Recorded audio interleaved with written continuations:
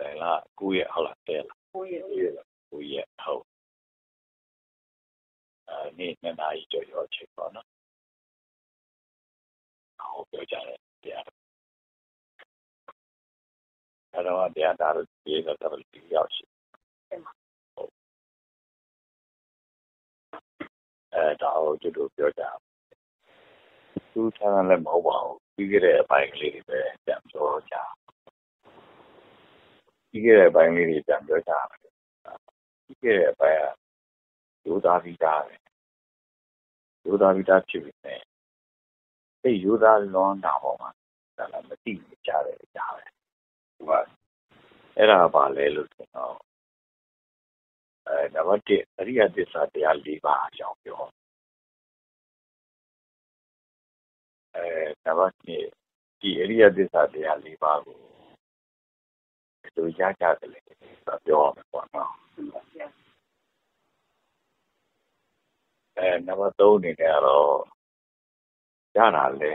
ဒါတာရတာမသိဘူးမရတာလဲမရတာမသိဘူးဖြစ်တာဟောနော်မှန်ပါဗျာဟိုအဲအဲ့ဒီကြောင်းရဒီပြောရမယ်နော်တကယ်တော့အရိယသစ္စာတရား၄ပါးဆိုတာဟိုသိနေနေနေနေကြီးနဲ့သိခက်ခက်ခဲခဲကြီးလို့အနေထားမျိုးဟိုပတ်တတ်ကြတယ် တကယ်တိုင်းကတော့အရိယသစ္စာတရား၄ပါးဆိုတာသူတို့နေ့စဉ်ပြောနေတယ်နေ့စဉ်ပြုနေတယ်နေ့စဉ်ကိုယ့်ရဲ့အဲမျက်နှာအနေထားကိုလက်ဟပ်ပါအောင်လည်းထားနေတယ်အဲ့ဒီအနေထားတွေကိုပဲအဲပြောနေတာပါအဲနေ့စဉ်ပြုတ်နေတဲ့ဟာကဘယ်လိုပြုတာလဲအဲဘယ်လို မှန်တာလဲဘယ်လိုမှားတာလဲနေ့စဉ်ပြောနေတဲ့ဟာတွေကလည်းဘယ်လိုပြုတာလဲအော်ဘယ်လိုမှားတာလဲဘယ်လိုမှန်တာလဲနေ့စဉ်ကိုလက်ဟန်မှာမျက်နှာထားထားထားတာလဲဘယ်လိုမှားတာလဲဘယ်လိုမှန်တာလဲလို့ဆိုတဲ့ဟာဆက်ဆက်ရအောင်မှားတာမှန်တာကမသိတာအဲသူမှားရင်လည်းမှားနေပါပဲမှန်ရင်လည်းမှန်နေပါပဲသူနေချင်းသူနေတွေ့တာပေါ့နော်အဲ့လိုဆိုတော့မှားမှလည်းမသိဘူးမှားမှလည်းမသိ ဘူးတော့ဆိုတော့သူထားခြင်းလို့ထားသွားတာသူပြောမှာပေါ့နော်သူထားခြင်းလို့ထားသွားတယ်ဆိုတာသူထားခြင်းတယ်လို့လို့ဆိုတဲ့အတွက်သူစိတ်ထဲရှိတယ်လို့ထားသွားတယ်လို့ဆိုတော့ပေါ့နော်ဒါပေမဲ့သူစိတ်ထဲလည်းသားစိတ်ဘယ်လိုရှိရဲဆိုတာလည်းသူသိပါဘူးအဲအဲ့လိုဖြစ်တဲ့အတွက်တော်တော်ကြီးကိုဒီမသိကြဘူးပြောကြတယ်တော့တကယ်တော့ဒါကိုပြည့်ရနေပြီးတော့ မသိနိုင်တဲ့အရာမဟုတ်အောင်ပြဖြစ်ဖြစ်သူပြောကြတာပြုကြတာနေကြတာဟာဘယ်လိုပြောကြတယ်လဲပြုကြတယ်လဲနေကြတယ်လဲဆိုတာမှားတာမှန်တာတော့မသိဘူးလားနော်အဲမှားတာဆိုရင်တော့မကြိုက်ဘူးပဲဒါပေမဲ့လို့လည်းမှားမှမသိတဲ့အခါကျတော့လည်းပဲမကြိုက်တာမဖြစ်ဘူးပြောကြတယ်နော်မှန်တာသိရင်တော့လည်းကြိုက်မှာပဲမှန်မှန်တောင်သိတာမဟုတ်တဲ့အတွက်ဘယ်လိုကြိုက်မှလည်းမသိဘူးဖြစ်တယ်ဘယ် လိုပြောမှာပေါ့နော်မှန်ပါဗျာအဲမှားတဲ့အတွက်ဘယ်လိုဒုက္ခဖြစ်တယ်လို့ဆိုတာဒုက္ခတော့မှားရတာနဲ့ဒုက္ခမဖြစ်တာလို့တော့မရှိဘူးကြာနော်မှန်ပါဗျာမှားရတာနဲ့ဒုက္ခမဖြစ်တာလို့ကမှားတစ်ခုတိုင်းအတွက်အဲဒုက္ခမဖြစ်တာလို့တစ်ခုမှမရှိဘူးအဲဒါလိုပဲအဲ့ဒီဒုက္ခမဖြစ်တာဒုက္ခဖြစ်တာလို့ဒုက္ခဖြစ်မှာမသိဘူးကြာဟုတ်နော်မှန်ပါ အဲအမှန်ဖြစ်တဲ့အတွက်လည်းပဲဒုက္ခမဖြစ်တဲ့ဒုက္ခလွတ်နေတာလည်းဖြစ်ကြတာပဲကြာနော်ဒါပေမဲ့လို့လည်းအဲ့ဒီဒုက္ခလွတ်တာလည်းဒုက္ခလွတ်မှာမသိဘူးဥပဒါသူဖြစ်နေတာလို့ပဲလိုပဲကျွတ်တော့ထင်ကြတယ်ကြာနော်အဲ့တော့ဘာလဲဘာဖြစ်တာလဲလို့ပြောလို့ရှိရင်သူကအတိကွယ်နေတာလို့ပြောတာပေါ့နော်အတိကွယ်နေတာဆိုတာ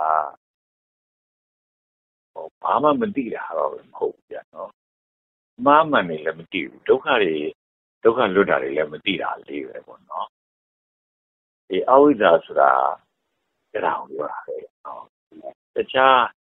ဒီလူကတော့ငါအမေဖြစ်တယ်ဒီလူကတော့ငါအဖေဖြစ်တယ်ဒီလူကတော့ငါသားငါသူဖြစ်တယ်ဆိုတာတော့သိပါတယ်ဒါတွေကစားမဲ့အသားအစာတွေဖြစ်တယ်ဒါတွေကတော့မစားမဲ့အသားအစာတွေဖြစ်တယ်အဲဒါလည်းသိတာပါပဲဗျာနော်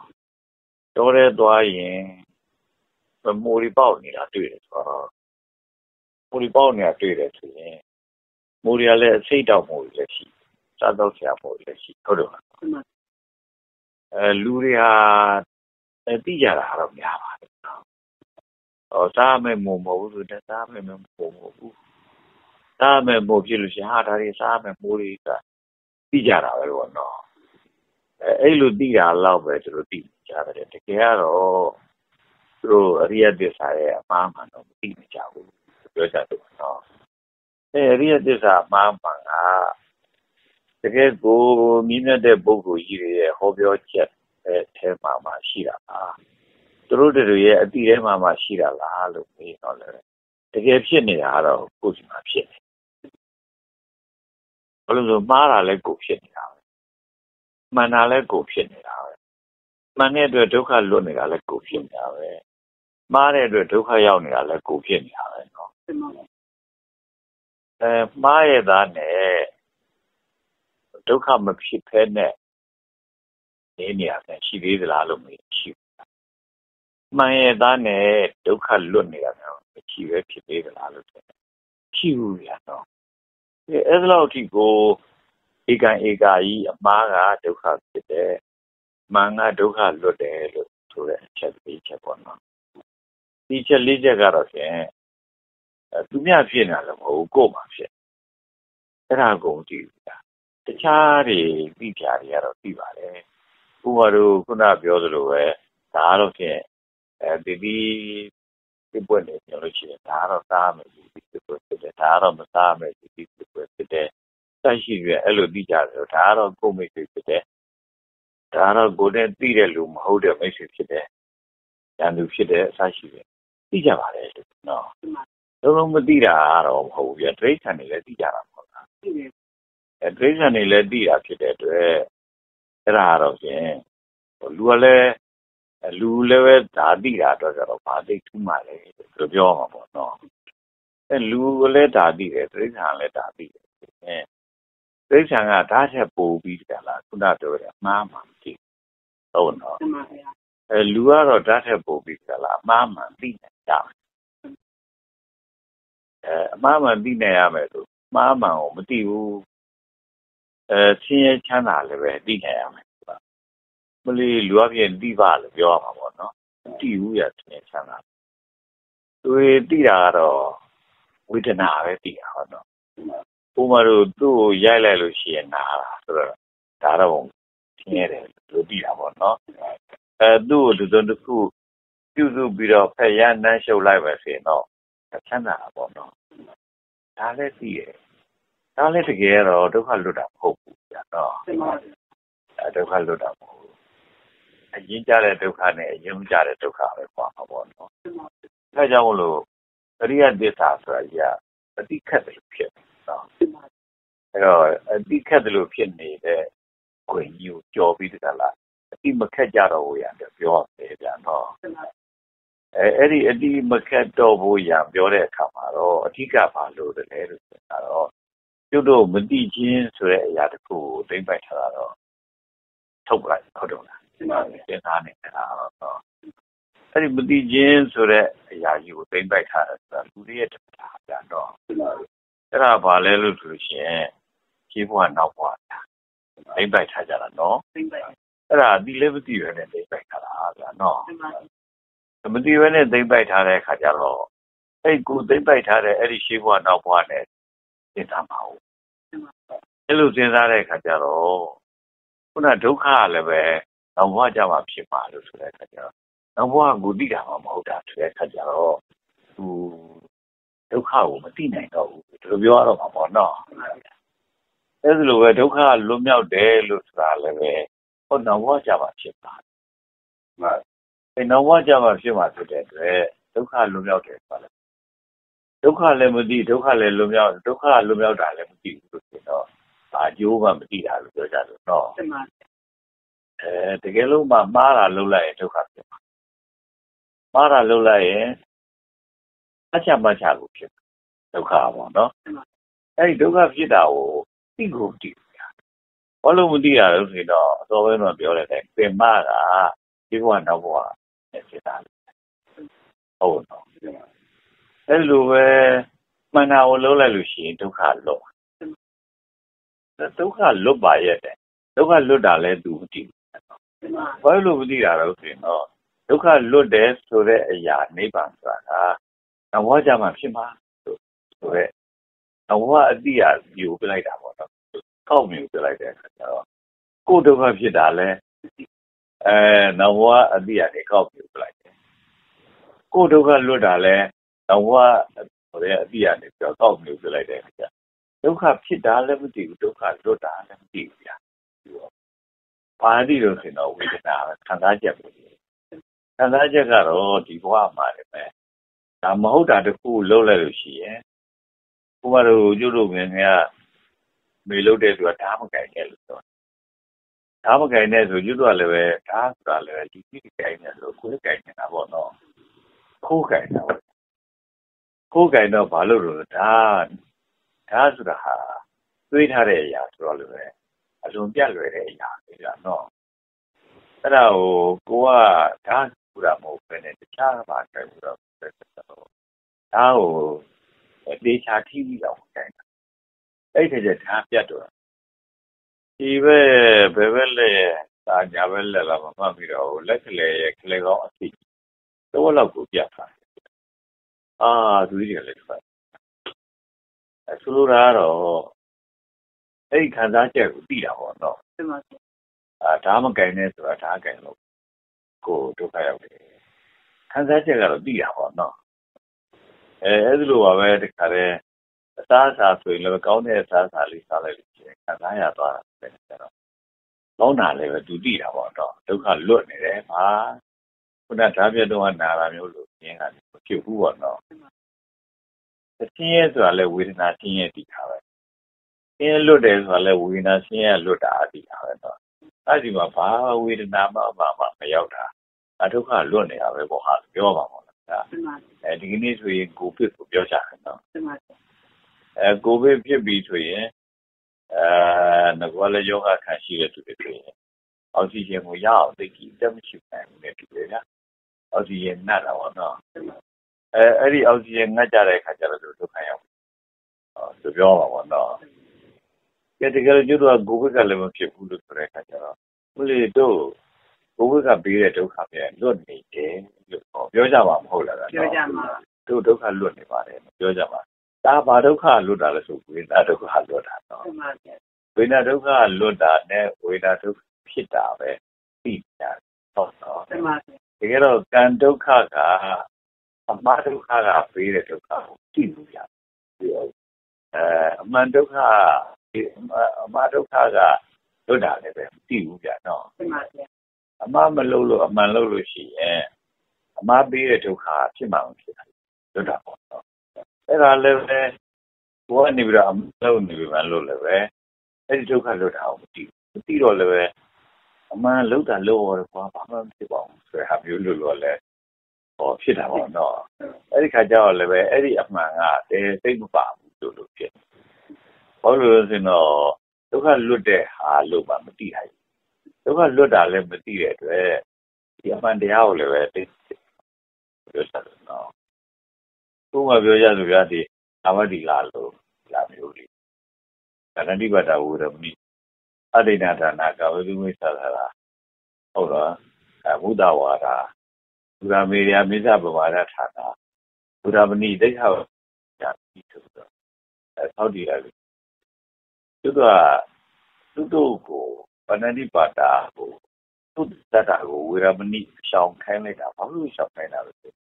လေလားလို့လို့ပဲကြမလို့ဘယ်လိုပြောတာမဟုတ်လားဗျာနေလားတယ်လို့အပယ်ကြတယ်လို့ဆိုတာဒုက္ခတွေဆိုတာလည်းတော့လည်းပဲတန်တိပြီးပြထားတာဗျာနော်နေလားတာဟာဘယ်လိုဒုက္ခလဲဆိုရင်ဒီနွေဦးကြီးတဲ့ထက်ပြီးတယ်လားပြုတ်ခံပါပေါ့နော်အပြုတ်ခံရတာမဟုတ်ပဲယူနီယိုရဲ့လက်နဲ့မတော်စားလေးနဲ့လိုက်မိရဆိုတော့ကျတော့အတော်လေးပူလောင်တာဟုတ်လား ။ဒါကြီးတဲ့ဒီကိုလုံးမြတ်တဲ့ခါထည့်ပြီးပြုတ်ခါရင်တော့ဒီသွားမှာပေါ့နော်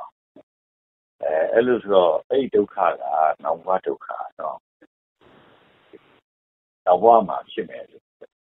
ဝေဒနာဒုက္ခပါပဲပြသူကလည်းနော်။အဲ့ဒါကိုကျွတ်တို့မြင်သာနေအောင်ကိုကိုကုန်းတော့ထဲဝင်နေအောင်ကိုကိုအထင်သာမြင်သာသူကလည်းပြောကြတာဒီကြိမ်လည်းမကဒီကြိမ်လည်းမကဘူးနော်။ အဲ့လိုပြောကြတဲ့အခါကျတော့ကျွတ်တို့ကဒုက္ခကိုနောက်ဘဝလို့အတ်တော်လာကြတော့အဲ့ဒီလိုပဲဗိဒ္ဓဖြစ်မယ်သူတကယ်ဖြစ်မယ်ဒိဋ္ဌံဖြစ်မယ်ဟုတ်တော့အဲ့ဒါတွေကလည်းပဲနောက်ဘဝတွေပဲကြာတော့အဲဒိဋ္ဌံဖြစ်မယ်လို့ဆိုတာဒိဋ္ဌံဆိုတာဥမာလို့အဲနွားတို့ကျွဲတို့ကတော့ဒိဋ္ဌံပေါ့နော်ဒီနေ့ဒိဋ္ဌံပေါ့နော်အဲ့ဒီဒိဋ္ဌံနေဆိုလို့ရှိရင် တကယ်ကိုစင်းရတယ်ကြောက်နေကြတယ်ဘာမှလည်းကြောက်တယ်ပြောပြမှလည်းကြောက်တာပဲပေါ့နော်တကယ်တိုင်းကတော့တွေးရင်ဒီငရဲလေးကြောက်တယ်မကောင်းဘူးသူပြောတဲ့တော့ဝငရဲပေါ့နော်အဲဒိဋ္ဌံဖြစ်ရမှာလေကြောက်တယ်မကောင်းဘူးကြတော့ကြောက်တယ်မကောင်းဘူးဆိုတာအခုနွားတွေကျွဲတွေကိုသိပြင်းရတယ်ထွန်တွေကိုယုံနေရတာတဲတွေကိုယုံနေရတာဆိုတော့ကိုကလဲဆွဲကြွလာ ကိုအားနဲ့ဆိုရင်သိကြည့်ဆွဲနိုင်ဘူးကြာကြာဆွဲနိုင်ကိုကထွန်ဆွဲကြွလာနော်အဲဘယ်ဆွဲနိုင်မှာမလို့ပဲဆွဲနိုင်ဒီလိုပမာပြီးမှာတော့အဲနွားမရှိလို့ပေါ့နွားတစ်ဖက်လူကတစ်ဖက်နဲ့ထွန်နေတာမြင်ဘူးပါဘူးကြာနော်ရှိမှဖြစ်ပါဘူးနော်အဲငယ်ငယ်တော့ဘာသာအိန္ဒိယဆိုပြီးတော့ရုပ်ချင်ထားတဲ့ကောင်ကိုသူကြည့်ရတယ်တော့ကောင်းတယ်အဲ့ဒါလဲ ဒေါ်လာဒေါ်လာရေးရုပ်ရှင်တာပေါ့ကြာနော်အဲဘာသာအိန္ဒိယဆိုတာကမှာတခါလေယောက်ျားသေးသွားတယ်အဲသူ့သားသမီးကလည်းပဲသားနှစ်ယောက်ရှိယောက်ျားရပြီးတော့ယောက်ျားနဲ့ခွဲပြီးတော့သားလေးနှစ်ယောက်မွေးပြီးနောက်ပိုင်းမှာယောက်ျားတော်ရဲသွားပြီးတော့ကြောက်သွားတိုက်အဲကြောက်ကိုအဲခုနကသူလှန်လိုက်တဲ့အခါမှာမောင်းပြီး သူလည်းတည်သွားဟိုကျန်6ကြီးကျိုးသွားတော့ဟိုရနော်ကျိုးသွားတဲ့အခါကျတော့အဲငါတော့ဘာမှမလုပ်နိုင်တော့ဘူးခါပေါ့ငါမိမကနဲ့ငါမိသားစုကပဲငါ့ကိုတော့လှုပ်ကြည့်ရတော့မှာပဲဖြစ်ဘူးဆိုပြီးငါမိမငါလှုပ်ကြည့်ရတာတော့မဖြစ်သေးပါကြိုက်မယ်ငါသားသမီးတွေကငါဆောင်းလျှောက်ပြီးလှုပ်ကြည့်ရတာတော့မဖြစ်သေးပါကြိုက်အဲငါတော့အိမ်မပြန်တော့ဘူးအဲ့ဒါတော့တော့တဲ့ဒီတော့ဂျိုးကြီးထွက်သွားတယ် ကြောက်ကြကြီးနေပေါ့နော်သူကနေကြသွားတယ်အဲ့လိုဆိုတဲ့အခါကျတော့ကျန်တဲ့ဒီသားမိသုံးအောင်ပေါ့ဗျာသားမိသုံးအောင်ကတော့ဆင်းရဲတာပေါ့အဲဆင်းရဲနွားကတကောင်တည်တဲ့အခါကျနွားတကောင်ပဲကျန်တဲ့အခါကျတော့အမေလုံးတဲ့သူကအဲ့ဒီနွားတကောင်နေရာမှာဝင်ရုပ်ဖြစ်ကြလားထွန်ရင်ထွန်တာပေါ့ဗျာသူပြောင်းကင်းကြီးပါရီလို့တွေ့ရ မလေးဟဲ့အရင်မြေဦးအောင်လို့ဒါပဲမြင်တယ်တော့စိတ်ထဲပြင်းနေတယ်ပေါ့တော့အဲလူကထုံကိုယုံရတယ်ဆိုတော့လူအားနေတာပဲဒါတော့လူရဲ့အားကတော့နွားအားရဲ့ဘလောက်လောက်စိတ်ပိုင်းလောက်ရှိတယ်တော့မသိဘူးပေါ့နော်မြင်းနဲ့တွက်မဲ့စိတ်ကတော့အဲမြင်းတစ်ကောင်ရဲ့အားလူရှိရောက်အားနေရတယ်အဲ့လိုပြရတယ်ပေါ့နော်အဲ့လိုဆိုတော့မြင်းနဲ့နွားနဲ့ကတော့ထားပါတော့ မြင်းကလူရှိရောက်နိုင်တယ်ဆိုနွားလည်းလူရှိရောက်တော့နိုင်တာနိုင်ပါလိမ့်မယ်မနိုင်ဘူးဆိုလည်းလူ၄၅ရောက်တော့နိုင်မှာပေါ့နော်အဲ့လိုဆိုလူရဲ့၄၅ရောက်အားရှိတဲ့နွားကဒီလဲကိုဆဲရတာဘာခက်ပါ့နော်အဲလူအားတော့အဲ့ဒီနွားအားရဲ့၅ဘုံတစ်ပုံလောက်ပဲရှိတဲ့အားဒီ၅ဘုံတစ်ပုံလောက်တစ်ပုံလောက်ရှိတဲ့အားနဲ့ဒီလဲကိုဆဲရတာဆိုတော့တယောက်တည်းဆဲရရင်တော့ပိုဆိုတာပေါ့နော်အဲတယောက်တည်းဆဲရရင်တော့ အဲနွားနှစ်ကောင်ဆဲရမယ်ဟာလူတယောက်တည်းဆဲရရင်တော့မဖြစ်နိုင်လောက်အောင်လို့ကိုပြမနဲ့လို့ပြောအောင်ပေါ့နော်အဲဒါလိုမဟုတ်ဘဲနဲ့နွားတစ်ကောင်နဲ့ဆဲရမှာမဟုတ်ပဲနှစ်ကောင်ဆဲတာဆိုတဲ့ခါကျတော့လူ10ယောက်လောက်နဲ့ဆဲမှရတဲ့လဲကိုအဲနွားနှစ်ကောင်နဲ့ဆဲတဲ့အခါမှာတော့နွားဘေးပန်းမှာနော်အပန်းမိမလို့လည်းပဲလဲနဲ့အကြာကြီးမောင်းနေဆိုရင်တော့လေလူလည်းပဲကြာကြာလို့ရင်တော့ပန်းတာပါပဲနော် အဲနွားလည်းကြာကြာလို့ရင်တော့သူလည်းပန်းတာပေါ့နော်အဲချုပ်တွေနွားတွေတုံးနေအောင်တော့ပန်းနေလို့သူပြောပါတယ်ဒီနေ့လုံးလည်းမောင်းတာညားတဲ့အတွက်ပေါ့နော်အဲပြောပါတယ်ဒီနွားအသိပန်းနေဆိုနွားဖြစ်ရမှာကြောက်တကယ်တိုင်းဆိုရင်တော့နွားပန်းတာတော့အဲဖဲတော့ဖဲရပါတယ်အဲ့မဲ့သူနိုင်တဲ့ဝန်ဆဲရတာပါထွန်စရာလေးကလည်းပြီးတော်တော်လေးပဲဗျအဲနွားနဲ့စားလိုက်လို့ရှိရဲ့ဘာမှရှိတာမဟုတ်တာဆိုတော့ တကယ်တော့တာမန်ကျိုးတို့ထွန်ကြည့်ကိုဆဲတယ်လောက်ကလေးဖြစ်ပါပါပဲနွားထွန်ဆဲရတာပေါ့နော်အဲ့လိုဆိုနွားသိမ့်မပန်းပါအဲ့လိုမပန်းမိမယ်လို့လူတော့နွားလှုပ်ကြွေးရှာတာပေါ့နော်ခုနကလို့ထွန်ရက်ပြီဒါပေမဲ့လို့လည်းပဲသူကလည်းနွားလှုပ်ကြွေးရတာပဲဗျနော်သူကလည်းပဲနွားစာရှားဟနွားစာဥမဒါလည်းသူစားနေလို့ဒီပြောင်းဟာတင်းပြီးတော့တောင်းမှသူစားလို့ကောင်းထိတယ်စားတဲ့ ဖြောဟာဟုတ်နော်အမျိုးမျိုးရေတောင်မှပဲရေရွေးနေကနေกินပြီးကြလားအပေါ်ရောက်တော့တောင်မှသူ့ဟာသူလာတောက်ခိုင်းတာမဟုတ်ဘူးသူ့စက်ကွက်ထဲသွားလောင်းပေးပြီးကြလားတိုက်ရတာမဟုတ်လားတော့မဆိုရင်နွားကလူပြုစုတာတဲ့သူကနွားကိုပြုစုရတာကတောင်ပြားလေဦးမယ်လို့ထင်တယ်သူကဟုတ်နော်အဲလူကတခါလဲမျက်တွေပါတယ်ဆိုလဲသွားရိတ်တာတို့ဆိုလို့ရှိရင် အခေါင်းနဲ့ရွက်လာရတယ်ပခုံးနဲ့ထမ်းလာရတယ်ဟုတ်တယ်မနော်ဒါရီယာတကယ်ကြတော့ပြမတကြီးတွေပဲဗျာနော်ဒီထဲမှာသူတို့တွေကိုဘေးရန်ကင်းအောင်အတွက်ဘယ်သူကမှကြိုက်ထုတ်လိုက်တာမျိုးအဲဒါခိုးလိုက်တာမျိုးသားနဲ့ထိုးလိုက်တာမျိုးကိုခံရအောင်လည်းပဲဗရှန်နေတောင်းလျှောက်ရတာနော်သူတို့ရဲ့ဂျင်ကြီးတွေဂျင်ငယ်တွေထဲမှာတော့ကြိုပွဲကြားထဲမှာနေပြီးတကလားမကြမ်းမှာလို့ဆိုမဖြစ်အောင်ဆို လဲလူရနေပြီးသူတို့နွားချီတွေနွားသေးတွေကိုရှင်းရတင်ရတာနော်အဲ့တော့လူကအဲ့လိုမျိုးလို့တောက်လျှောက်ရတာကိုထောက်ကြည့်ရင်သိဆံဖြစ်ရမှာကြောက်ကြကောင်းတယ်ဆိုတာအာသူကနဲ့သူအမျှပါလို့သူတို့ပြောချင်ပါတယ်နော်မှန်ပါဗျာလူကနွားကိုစောက်လျှောက်တယ်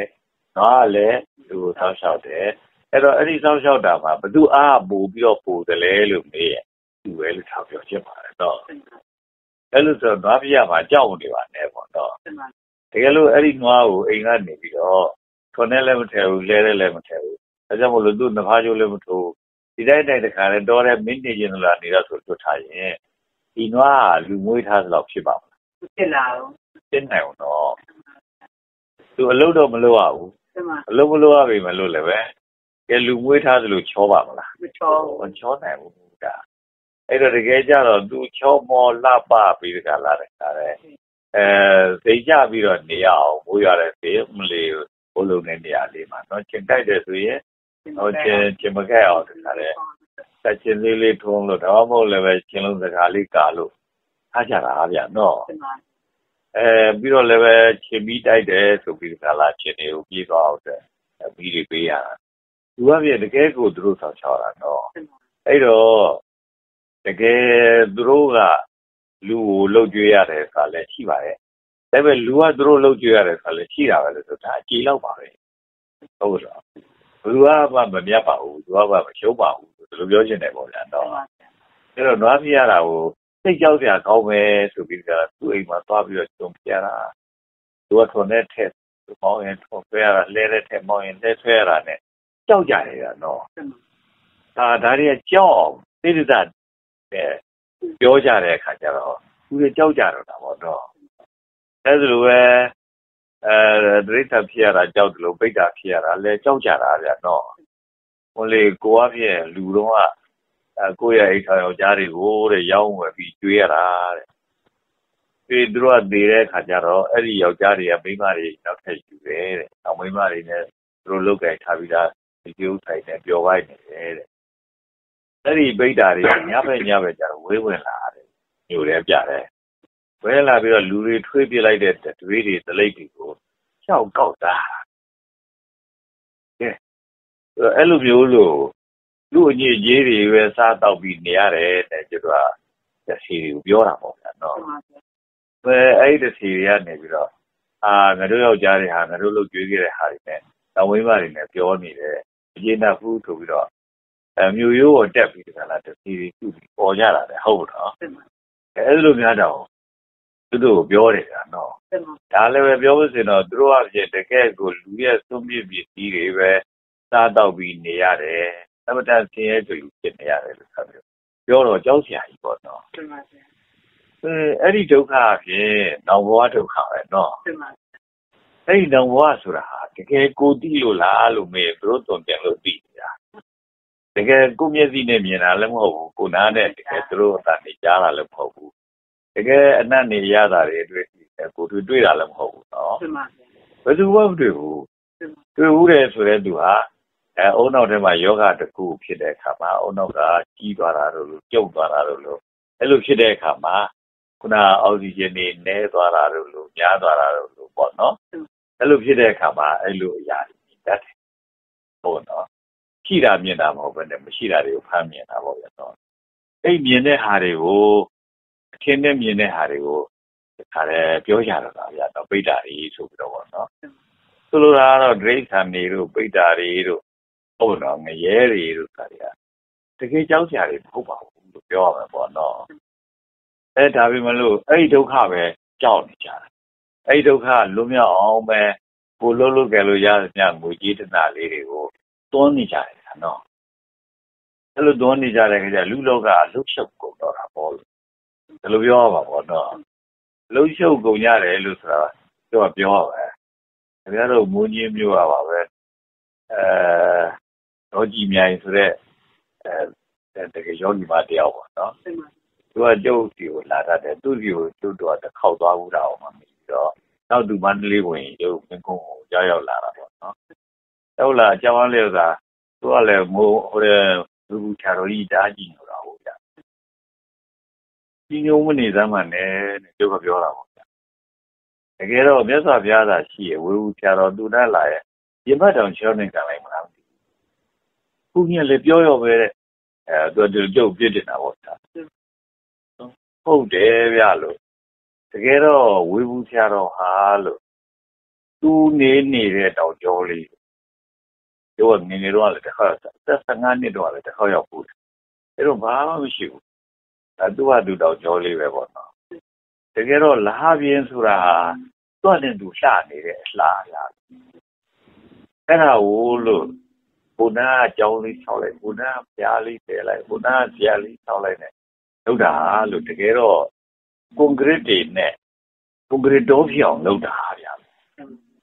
ကွန်ကရစ်တော့ဖြစ်ပြီလို့ဆိုတဲ့အခါကျတော့ ဩဒါကြီးကတက်တက်အမှတ်ရှုပ်တာလို့ပြောပါလေဗျာလို့တကယ်တိုင်းဆိုရင်တော့ဘုရားဆိုလည်းတူးတယ်ပါလို့အခုတော့ဟိုနာဟိုနာထိကလည်းဘုရားဒီတန်းအချင်းအကြိုက်ကလည်းတိတ်ဘုရားအဲ့ဒီလိုမျိုးတွေလျှောက်တယ်ဆိုတော့အဲလာပြင်းရဲ့အလှကိုကိုအလကကွန်ကရစ်တော်ကြီးလုပ်ပြတာလို့ဆိုပြီးကြလားအဲသွားခါတာတယ်လည်းဘာမှဆိုင်ဘူးပြီးတော့တော့ချောတဲ့ဒီမှာကိုကန်လိုက်မလားမသိဘူးလို့ဆိုတာမျိုးလို့ကျုပ်ကနေပြောတာပေါ့ဗျာ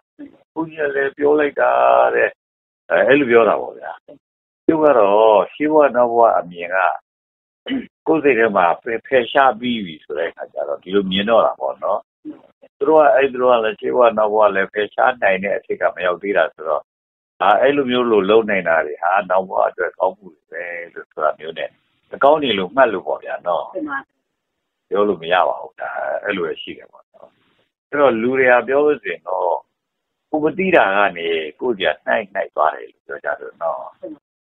အဲ့တော့အဲ့လိုမျိုးလို့ဖြစ်တာတွေကဘာဖြစ်လို့လဲဆိုတော့တမိုင်းအစံလာကြီးအတိပေးချက်တွေကြောင်းလို့ပြောရမှာဗျာနော်ကျတို့ဗမာတွေဆိုရင်တစ်မကြောက်တဲ့လူတို့ကတော့ရှားပါတောက်တာကြီးပဲနော်ကျတို့လည်းငယ်ရတော့ငယ်တော့ပြန်ကြောက်လိုက်ရတာပြောပါတော့နော်တကယ်တော့ကျတို့လူမျိုးသားကြောက်တာမွတ်စလင်တွေဆိုရင်တစ်စီကြောက်ပြန်တော့ ဘာဖြစ်လို့လဲဆိုတော့သူတို့အနေနဲ့အဲပြောပါစေတော့သေတစ်စီဖြစ်တယ်ဆိုတာရှိပါမရှိတာသူတို့ကသေရင်ဒါသူတို့ဖျားသခင်ကသူတို့မခေါ်သေးခင်တည်းကမှမြည်တဲ့မှာနေအာအဲ့ဒီပေါ့နော်အဲသူတို့ဘုရားသခင်ကမခေါ်သေးလို့မလို့အိတ်တယ်ဘုရားသခင်ကနေခေါ်ပြီးစစ်ပြီး စစ်ပြီးတဲ့အခါကျဘုရားသခင်ကသူပြီးညတ်တဲ့အတိုင်းဒီလူပြက်နေထိုင်ခဲ့တယ်လို့ဆိုရင်ကဲလာကောင်းကင်ဘုံကိုဆိုတော့သူနဲ့အတူမရအောင်ကောင်းကင်ဘုံခေါ်သွားတယ်တကယ်လို့မှသူစစ်ဆေးလိုက်တဲ့အခါဒီသူရတဲ့ပြမိုက်တီမိုက်ကနေနဲ့ဟောစာတက်နေအောင်လှုပ်လှုပ်ခဲ့တယ်ဆိုတော့အားတဲ့ငရဲမိနဲ့ရှိုးပလိုက်အဲဒီလိုရောက်သွားပြီရှိတော့ဩဒီနှစ်ခုပဲသူကတေးပြီးနောက်မှာမွတ်စလင်ကပြောတာပေါ့နော် အဲအဲ့လိုဆိုတော့အဲ့ဒီမွတ်စလင်တွေကဘယ်လိုလုပ်ပြီးတစ်စီဖြစ်ဖို့နေရာရှိလဲမှန်ပါကျတို့ဗုဒ္ဓဘာသာတွေကတော့သေသေတဲ့အခါကျဒီကနေထွက်သွားအသက်ကထွက်သွားပြီးနောက်သူနဲ့ထိုက်တာနဲ့မိခင်ဝါကမအားဘူးဆိုတာလေတော့ဝါမအားဘူးမိခင်ဝါမအားဘူးလို့ဆိုလို့ရှိရင်သူအပြင်တစ်စီဖြစ်နေနေနေလို့ဟုတ်တော်တယ်ကဟုတ်တော့ဒါအဲ့လိုဖြစ်တာဗျအဲ့လိုမိခင်ဝါက အဲကိုနေရမဲ့သူရဲ့ကိုဝင်စားရမဲ့သူရဲ့မိခင်ကဝါမအားသေးဘူးဆိုရင်ဖြစ်ဖြစ်သို့မဟုတ်အိမ်တော်မကြသေးလို့မလို့အပြိုပဲရှိနေသေးတယ်ဆိုရင်ဖြစ်ဖြစ်ဟောတော့ဝင်လို့မရဘူးဟောအဲ့လိုဖြစ်တကယ်လို့မှမိခင်ကမိခင်ဖြစ်မဲ့သူကအိမ်ထောင်လဲကြာနေလို့အိမ်ထောင်လဲရှိပါတယ်သူ့အိမ်ထောင်ထဲကလည်းပဲအဲသူ့အိမ်ထောင်ပဲသွားလို့လုပ်နေလို့အဲအာဘူးမလပ်ဘူးလို့ပြောရှင်တယ် သူတို့အဖိုးမဆက်ဆံမှုကမရှိဘူးဟုတ်လားအဲမရှိရင်လည်းပဲသူကဒါစောင့်နေရပါပဲအဲ့ဒီကနေပြီးတော့ဘာနဲ့စောင့်နေမှာဆိုတစ်ဖေးဟောတစ်ဖေးပြင်းနေစောင့်နေဘုရားတင်ရတယ်ပြောရတယ်ဘုရားကတရားပွဲရနှခါမွေးတော့ရတဲ့ဟာရတာဒီစားလို့ငါမိမဟာဒီရုံမှာဟုတ်တော့လေသူရတဲ့ဒါဒေသလို့ဝင်ကြမရှိလို့ဒီရလူပြောဝင်ကြတာပါ တော့လာဒီရောပြောရဗျာဒီဟိုဒီရောဟာတာဤပေါ့ဗျာဆက်ပြောဆိုရတာတကယ်ကြတော့ကျွတ်တော်ဗုဒ္ဓဘာသာတွေကဒီအလွဲလွဲချော်ချော်ကိုမသိနိုင်တဲ့ဟာတွေသိတဲ့သူတွေလုပ်နေတော့ဟိုလူတက်တွေပေါ့နော်လူရည်လေလူပြောအောင်လူရည်လေလောက်တာဗျာနော်အဲဒါလိုလုပ်တဲ့အခါကျတော့ကျွတ်တော်ကတမိုင်းညအဲ့ဒါဖြစ်တယ်တော့ကျွတ်တော်ဗုဒ္ဓဘာသာတွေမှာတစ်ဖြည်းဖြည်းရှိနေတော့ခါကျနော်အဲလိုဖြစ်တယ်ခုနကတော့ခရိယာတော်မူသူတွေတို့ဆိုရှိဘူးဗျာ ဒီကတော့ကြည့်လို့မရဘူးဆိုတာဒါကြောင့်သူတို့ကမကြောက်ဘူးဗျာနော်တကယ်လို့မကြောက်ပြီမလို့လည်းပဲသူတို့လည်းတကယ်တော့ခြောက်တာပဲနော်ခြောက်တယ်ဆိုတာသူတို့ကျမကြီးချို့တဲ့နေတယ်ဆိုတော့ဗျာကျမကြီးချို့တဲ့တယ်ဆိုတာခုနကဘုဖြစ်လို့ပဲပေါ့နော်အောက်ဆီဂျင်ကအရနဲခြင်းနဲပဲဟုတ်တော့လားတစ်ခါတစ်ခါကျတော့ဒီကာဗွန်ဒိုင်အောက်ဆိုက်တွေကိုကိုယ်ကိုယ်ရဲ့ကနေထုတ်ပြတာလဲအထုတ်နိုင်နဲခြင်းနဲပဲ ကိုယ်ကိုယ်ရဲ့ကာဗွန်ဒိုင်အောက်ဆိုက်ထုတ်ပြတာထုတ်နိုင်နဲလို့ရှင်လည်းပဲကိုယ်မှာတော့အန်ဒီရရှိတာတော့အဲအဲ့လိုဖြစ်တဲ့အခါမှာအုံနောက်ကပုံမှန်မဟုတ်တော့ဘူးအုံနောက်ကပုံမှန်မဟုတ်တော့ရဲ့ဟိုမြင်တီးမြင်သူမြင်ရမြင်ပါပဲမဟုတ်လားအဲသူမြင်ရမြင်တော့သူမျက်စိနဲ့တော့တာမြင်တယ်လို့ဆိုတာဖြစ်နေပြီလို့ဆိုတဲ့အခါကျတော့တကယ်ရှိလို့ပေါ်လို့ဆိုတာလည်းပဲဘယ်လို့မှသူမလွဲဖယ်နိုင်တော့ဘူးဟုတ်လားအဲကျုပ်ရွှေမင်းတောင်နေတော့ တယောက်တည်းနေနေတာဆိုတော့တစ်ခါတစ်ခါကိုအဲညဘက်ကို9နိုင်လောက်အိတ်တော့မယ်ပေါ့ဗျာအိတ်တော့မယ်ဆိုရင်ကဲဒါမိခင်ကျင်ငယ်လေးထုတ်လိုက်ဦးပါပဲဆိုတော့ဒီဘက်ကိုတကားဖွင့်ပြီးတော့သွားမှာပေါ့ဗျာနော်တကယ်တော့တကားမဖွင့်မဲနဲ့အတွင်းထဲမှာနေတာတကားတွေပိတ်နေတာဟုတ်တကားတွေပိတ်နေမီးလဲဟုတ်ဒီဘက်ဒီထွန်းတာမဟုတ်ပါဘူး အဲပိုင်ကလေးထဲမှာမီးရှိတယ်လို့ဆိုရင်မသေးုံလေးပဲမီးလေးကိုထွန်းထားပြီးတော့ဒါကျကနေနေတယ်ပေါ့နော်တကယ်လို့မှကိုထကျင်တယ်လို့ဆိုချင်တော့အဲ့ပိုင်ကလေးအောက်ချပြီးတော့မိသားလေးပြင်လိုက်တော့လင်းလာတာပေါ့နော်အဲအဲ့လိုဆိုဒီမဲ့ထွက်ရတော့မယ်လို့ဒီထွက်ရမှလည်းကြောက်တယ်ဘာကြောက်တာတော့အဲ ဘာကြောက်တာတော့လို့ဆိုတာဘာကြီးတွေ့မယ်မသိဘူးပေါ့ဒီကဟွန်းဘာကြီးတွေ့မယ်မသိဘာမရှိဘာမရှိပဲဘယ်လိုလုပ်တွေ့ပါတစီဆိုတာလည်းပဲမရှိဘူးတော့လည်းမပြောနိုင်ဘူးပေါ့မရှိဘူးလို့မပြောနိုင်ဘူးလို့အဲ तू ကတစီကဘယ်လိုဖြစ်တာလဲလူသေးပြီးမှဖြစ်တာလူသေးပြီးရင်တော့ဘဖြစ်တယ်လို့မင်းခံယူသေးသလားဟောကိုကိုမေးလိုက်အေးဟုတ်တယ် လူသေးပြီးရင်ဘာထွက်သွားကြရှိလို့ဒါလူသေးပြီးရင်ဖြစ်တယ်လို့ပြောမှာအဲ့လိုဆိုရင်လူသေးပြီးဖြစ်တာပါမရှိဘူးတဲ့တစီကဘယ်ရှိလို့ဖြစ်မှာလဲဩအဲ့ဒီအပြီးနှိုးလိုက်ပြီနှုတ်ပြီးဝင်းတော့ကိုဖွင့်ဖြစ်ကြလာပြပါတော့ပါဟုတ်တော့ပြောရပါ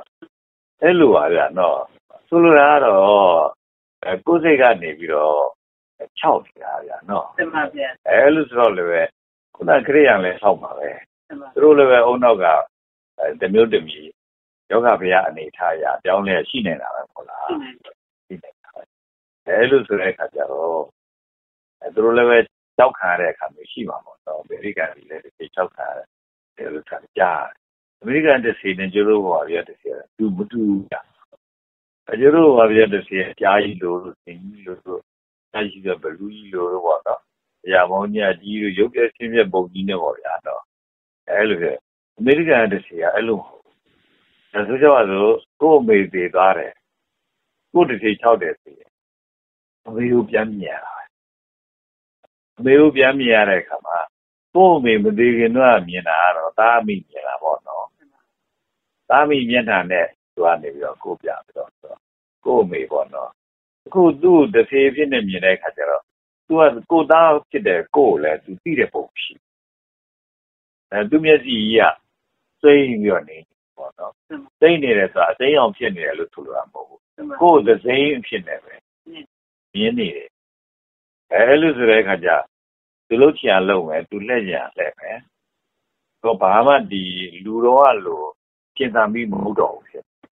အဲ့ဒါကြီးကသူတို့အနေနဲ့ကြောက်ကြကြီးဖြစ်နေတာတတိယရတယ်သူကလာတို့ဟာပြမြင်တဲ့တတိယတစ်မျိုးသူမြင်တဲ့တတိယတစ်မျိုးလို့ တကယ်တော့တတိဆိုအတူတူဖြစ်ရမှာပေါ့လူဆိုရင်အတူတူဖြစ်တာပဲဟောလက်မှာလက်ကားချောင်းပေါက်တယ်ဆိုလက်ကားချောင်းပေါက်ကြသူကြီးတယ်ပဲမျက်နှာမှာမျက်စိနှလုံးပေါက်တယ်ဆိုမျက်စိနှလုံးပေါက်ကြတဲ့သူကြီးတယ်ပဲဟုတ်လားဒီမျက်စိနှလုံးဟာနောက်ဖယ်မှာလည်းပေါက်တယ်လူလည်းလို့ရှိပါဘူးတော့အဲ့လိုပဲတခါလဲနောက်ကျောမှာပေါက်တယ်လူလည်းမရှိပါဘူးရင်ဘတ်မှာပေါက်တယ်လူလည်းမရှိပါဘူးဒီနေရာကပေါက်တာသူဆိုအတူတူဖြစ်ရတယ်လို့ခွေးတွေလည်းအတူတူပါပဲတော့ကျောင်းနေလည်းအတူတူပဲတော့အမေရိကန်ကျောင်းနေသွားပြီးကျောင်းနေဟုတ်လို့လားနော် ဘယ်တိုက်ကဘယ်တော်တွေကတတ္တဝါဖြစ်ဖြစ်တတ္တဝါကျအတူတူပါပဲဗျာနော်အဲအဲ့လိုဆိုတစ်စီကလည်းတူရမှာပေါ့နော်အဲအဲ့ဒါကတစ်စီမဟုတ်တာဟာနဲ့ဒါမျိုးလိုကျတို့လည်းပဲအတွတ်တာပေါ့ဗျာအဲအဲ့လိုမျိုးလို့ပေါ့ဆိုလိုတာကတော့ဖြင့်အဲတကယ်တမ်းဒီတစ်စီကတော့အုံနောက်ကနေဆိုဖန်တီးတာပေါ့နော်ကျတို့အိမ်မက်သဘောမျိုးလို့ပဲပေါ့နော်အိမ်မက်ထဲမှာတော့မတွေ့ဘူးတာတွေလည်းတွေ့ရင်တွေ့နေတာပဲပေါ့နော်အခုလည်းပဲအဲ့ဒီတိုင်းပဲ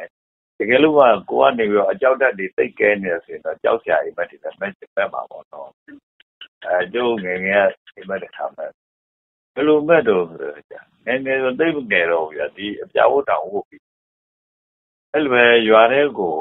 သုံးစားသွားရမှာတဲ့ဒီကိုအပြာရဲ့အထက်ကဝတ်ရုံကရှားလို့မတွေ့ဘူးဖြစ်ရှားလို့မတွေ့တော့အကုန်လျှောက်ပြီးရှားရတာတောင်ရဲ့အခေါင်းကြီးတစ်ခုထဲမှာ အကောင်ကြီးတစ်ကောင်အကြီးအဲ့ဒီအကောင်ကြီးတစ်ကောင်ကနေပြီးတော့သူ့ဆွဲပြီးတော့အဲ့ထဲမှာအတွင်းထားတယ်ပြောရဟိုဒီဘက်ကအစကိုတွေ့ရခကြအာကိုဝစကိုကိုဆွဲတာပေါ့နော်ဆွဲတဲ့ခါကျအကောင်ကြီးကနေထွက်လိုက်တာကြာအဲ့ဒီအကောင်ကြီးကမမြင်ဘူးတဲ့အကောင်ပဲဗျာနော်မမြင်ဘူးတဲ့အကောင်ဆိုတာအခုခေတ်ဒီနိုင်ငံသားရဲ့ဒီဘယ်လိုနေပေါ့အဲဒိဋ္ဌာန်ကြောင်းပြတဲ့ ဆိုတဲ့ DVD ထဲမှာ ဖြန်ဆိုတဲ့အင်းလေဖြန်ဆိုတဲ့ဟာအဲ့လိုခက်လုံးလုံးအတုံးလုံးလိုက်လိုက်တာလေကျုပ်လည်းရှေ့ကနေပြေးလိုက်ရတာဟုတ်လားဒါပြောဆိုကျုပ်အောက်ကျင်းနဲ့နဲ့ငတ်နေတဲ့သဘောမျိုးဖြစ်ပါလားဒီအိမ်မက်တာပေါ့နော်မောနေအောင်ပဲပေါ့ဗျာတော့အဲဒါတကယ်တော့ရှိလို့လားမြင်လည်းမမြင်ဘူးသေးဘူးအဲ့ဒီတော့ဆိုအဲ့လိုအကောင်မျိုးပေါ့နော်အဲဒါ မမြင်ဘူးပဲမယ်လို့လည်းပဲအဲ့မှာတော့ဟောကိုမျက်စိတွေတော့တွေ့ညာပဲလို့ပြောကြတယ်ပေါ့နော်အဲ့တော့ဆိုလိုတာကတော့ဘုန်းတော်ကသူလှုပ်ချင်လှုပ်သွားတာလို့ပြောကြတယ်ပေါ့နော်အဲသူကနေသူဖန်ချင်းပြီးကြတယ်လို့ဖန်ပြီးသွားတာပေါ့နော်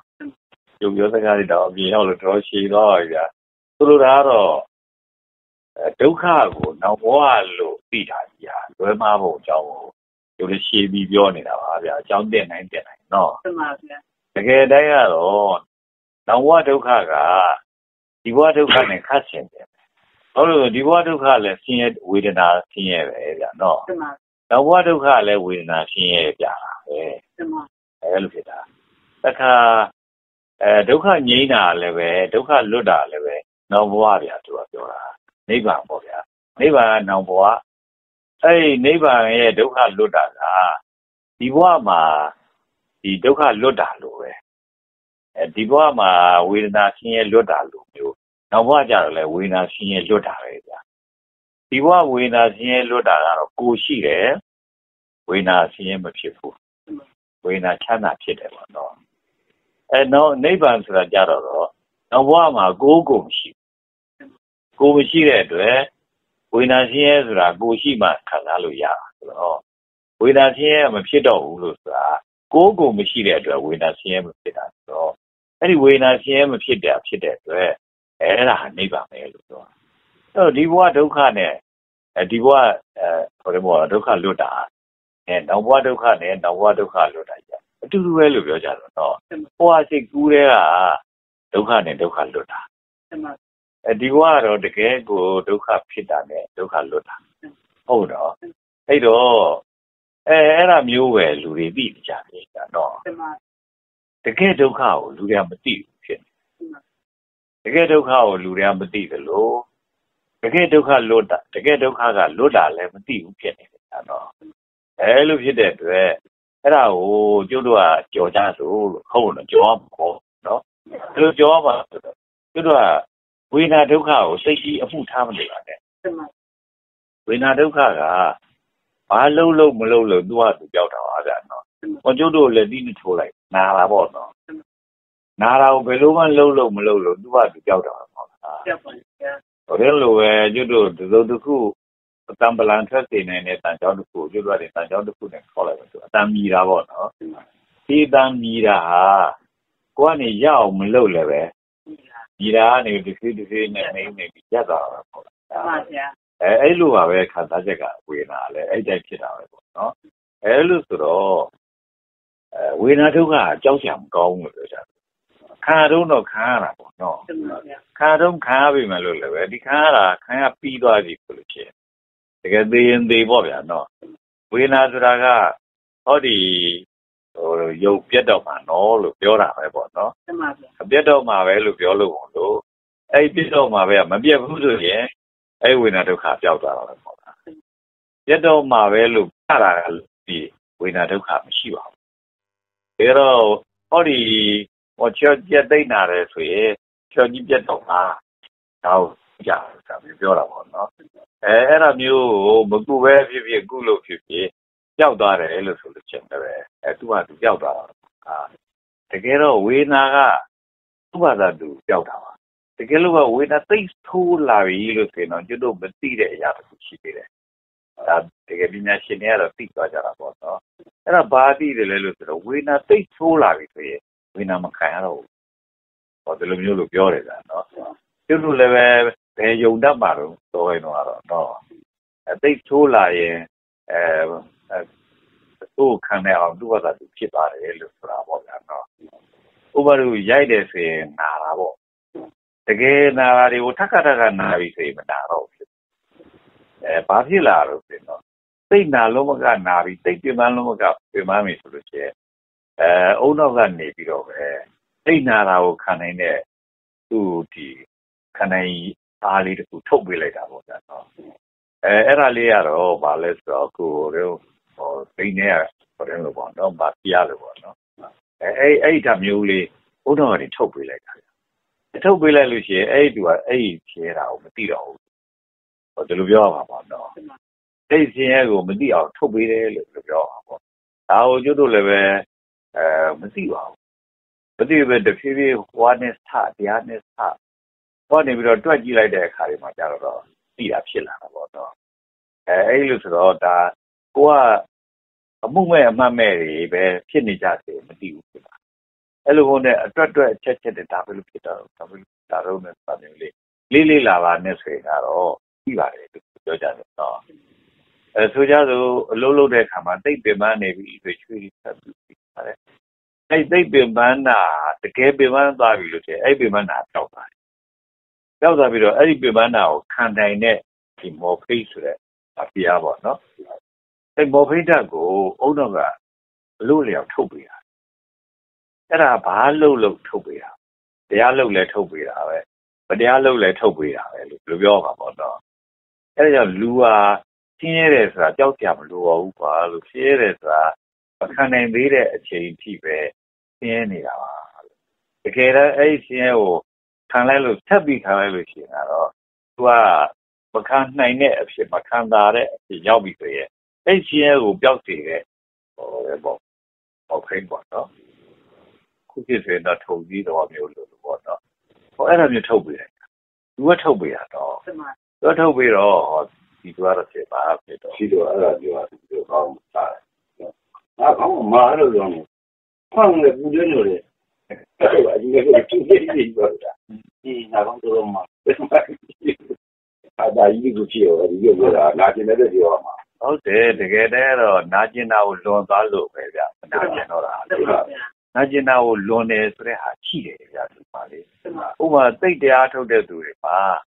အောက်ဆီဂျင်နည်းနေပြီ သို့မဟုတ် ကာဗွန်ဒိုင်အောက်ဆိုက်တွေက သိပ်များနေပြီဆိုရင်သူတွေမှာ တခါတည်းကြိုက်တာတွေ ခဲတာတွေ ညောင်းတာတွေ မထိုင်နိုင်တော့ဘူး ဘယ်လိုမှ ကိုဖြစ်တော့ဘူးဆိုတာတွေက ခံစားရတာနော် အဲ့ခံစားရတာတွေက တရားအထုတ်ခဲ့ကြဘူးသူတိုင်းလို့လို့ဖြစ်တယ်ဗျာနော်တမန်တယောက်တလေပဲ မဖြစ်မယ်ဗျာနော်တမန်အဲ့လိုမျိုးလို့ဖြစ်တဲ့အခါတွေမှာ ဒီသူက တော်တော်ပေတယ် တော်တော်ကိုပဲ ဒီတရားတော့ဖြစ်အယုံထားပြီးတော့ပဲ လုပ်မယ်ဆိုပြီးတော့လုပ်ပြီးလို့ဆိုလို့ရှိတယ်တခါတည်းဘေးကွာသေးလဲငါတော့ဘာဖြစ်လဲဆိုပြီးတော့သူကအဲဆုံးလွတ်လိုက်တဲ့အဖြစ်ရောက်တော့တယ်အဲ့နာရီကုန်ပြောက်သွားအခုတည်းဆိုလို့ရှိရင်ဘာလဲဗျဒီမော်ပီဘက်ကဖုန်ကြီးဟာဟောတရားပြတဲ့ဖုန်ကြီးလေအဲအဲ့ဒီဖုန်ကြီးခုတော့တည်သွားပြီပေါ့နော်သူဆိုရင်သူကဓမြကြီးတစ်ချိန်တော့သူဓမြနေပြီးတော့သူအဲ့လိုတရားထုတ်ရတရား တရားထုတ်တဲ့ခါကျတော့လဲသုံးလုံးတရားလုံးမျိုးလို့ဟိုကြီးကပြေးတယ်အဲအဲကူတော့တယ်အဲအဲ့ဒီလူဆိုလို့ရှိရင်သူတို့တည်းကတေကြတာလေရှိတယ်အဲသူကတော့သေးသေးလောက်ပဲကွာဆိုပြီးတော့သူကိုယ်တိုင်လည်းအဲ့လိုလုပ်ခဲ့တယ်လို့ဆိုကြသူတစ်ပိုင်းထဲမှာသူရေးထားတယ်ဗျာလုံရကနေပြီးတော့သူခင်ပေါက်သွားတယ်ပြောတယ်ဗျာတော့ဦးသောတိဆိုတဲ့ကိုရုပ်ထဲမှာရှင်းနေလို့ဆိုတဲ့ဒါအုပ်ရေးတဲ့ပုံစံ ပဲရေးတယ်ဗျာအဲ့လည်းပဲကနေဒါတခါလဲဆရာဝန်တယောက်ဆရာဝန်ကြီးတယောက်သူဆရာဝန်မဟုတ်တော့ special လို့ပေါ့ဗျာ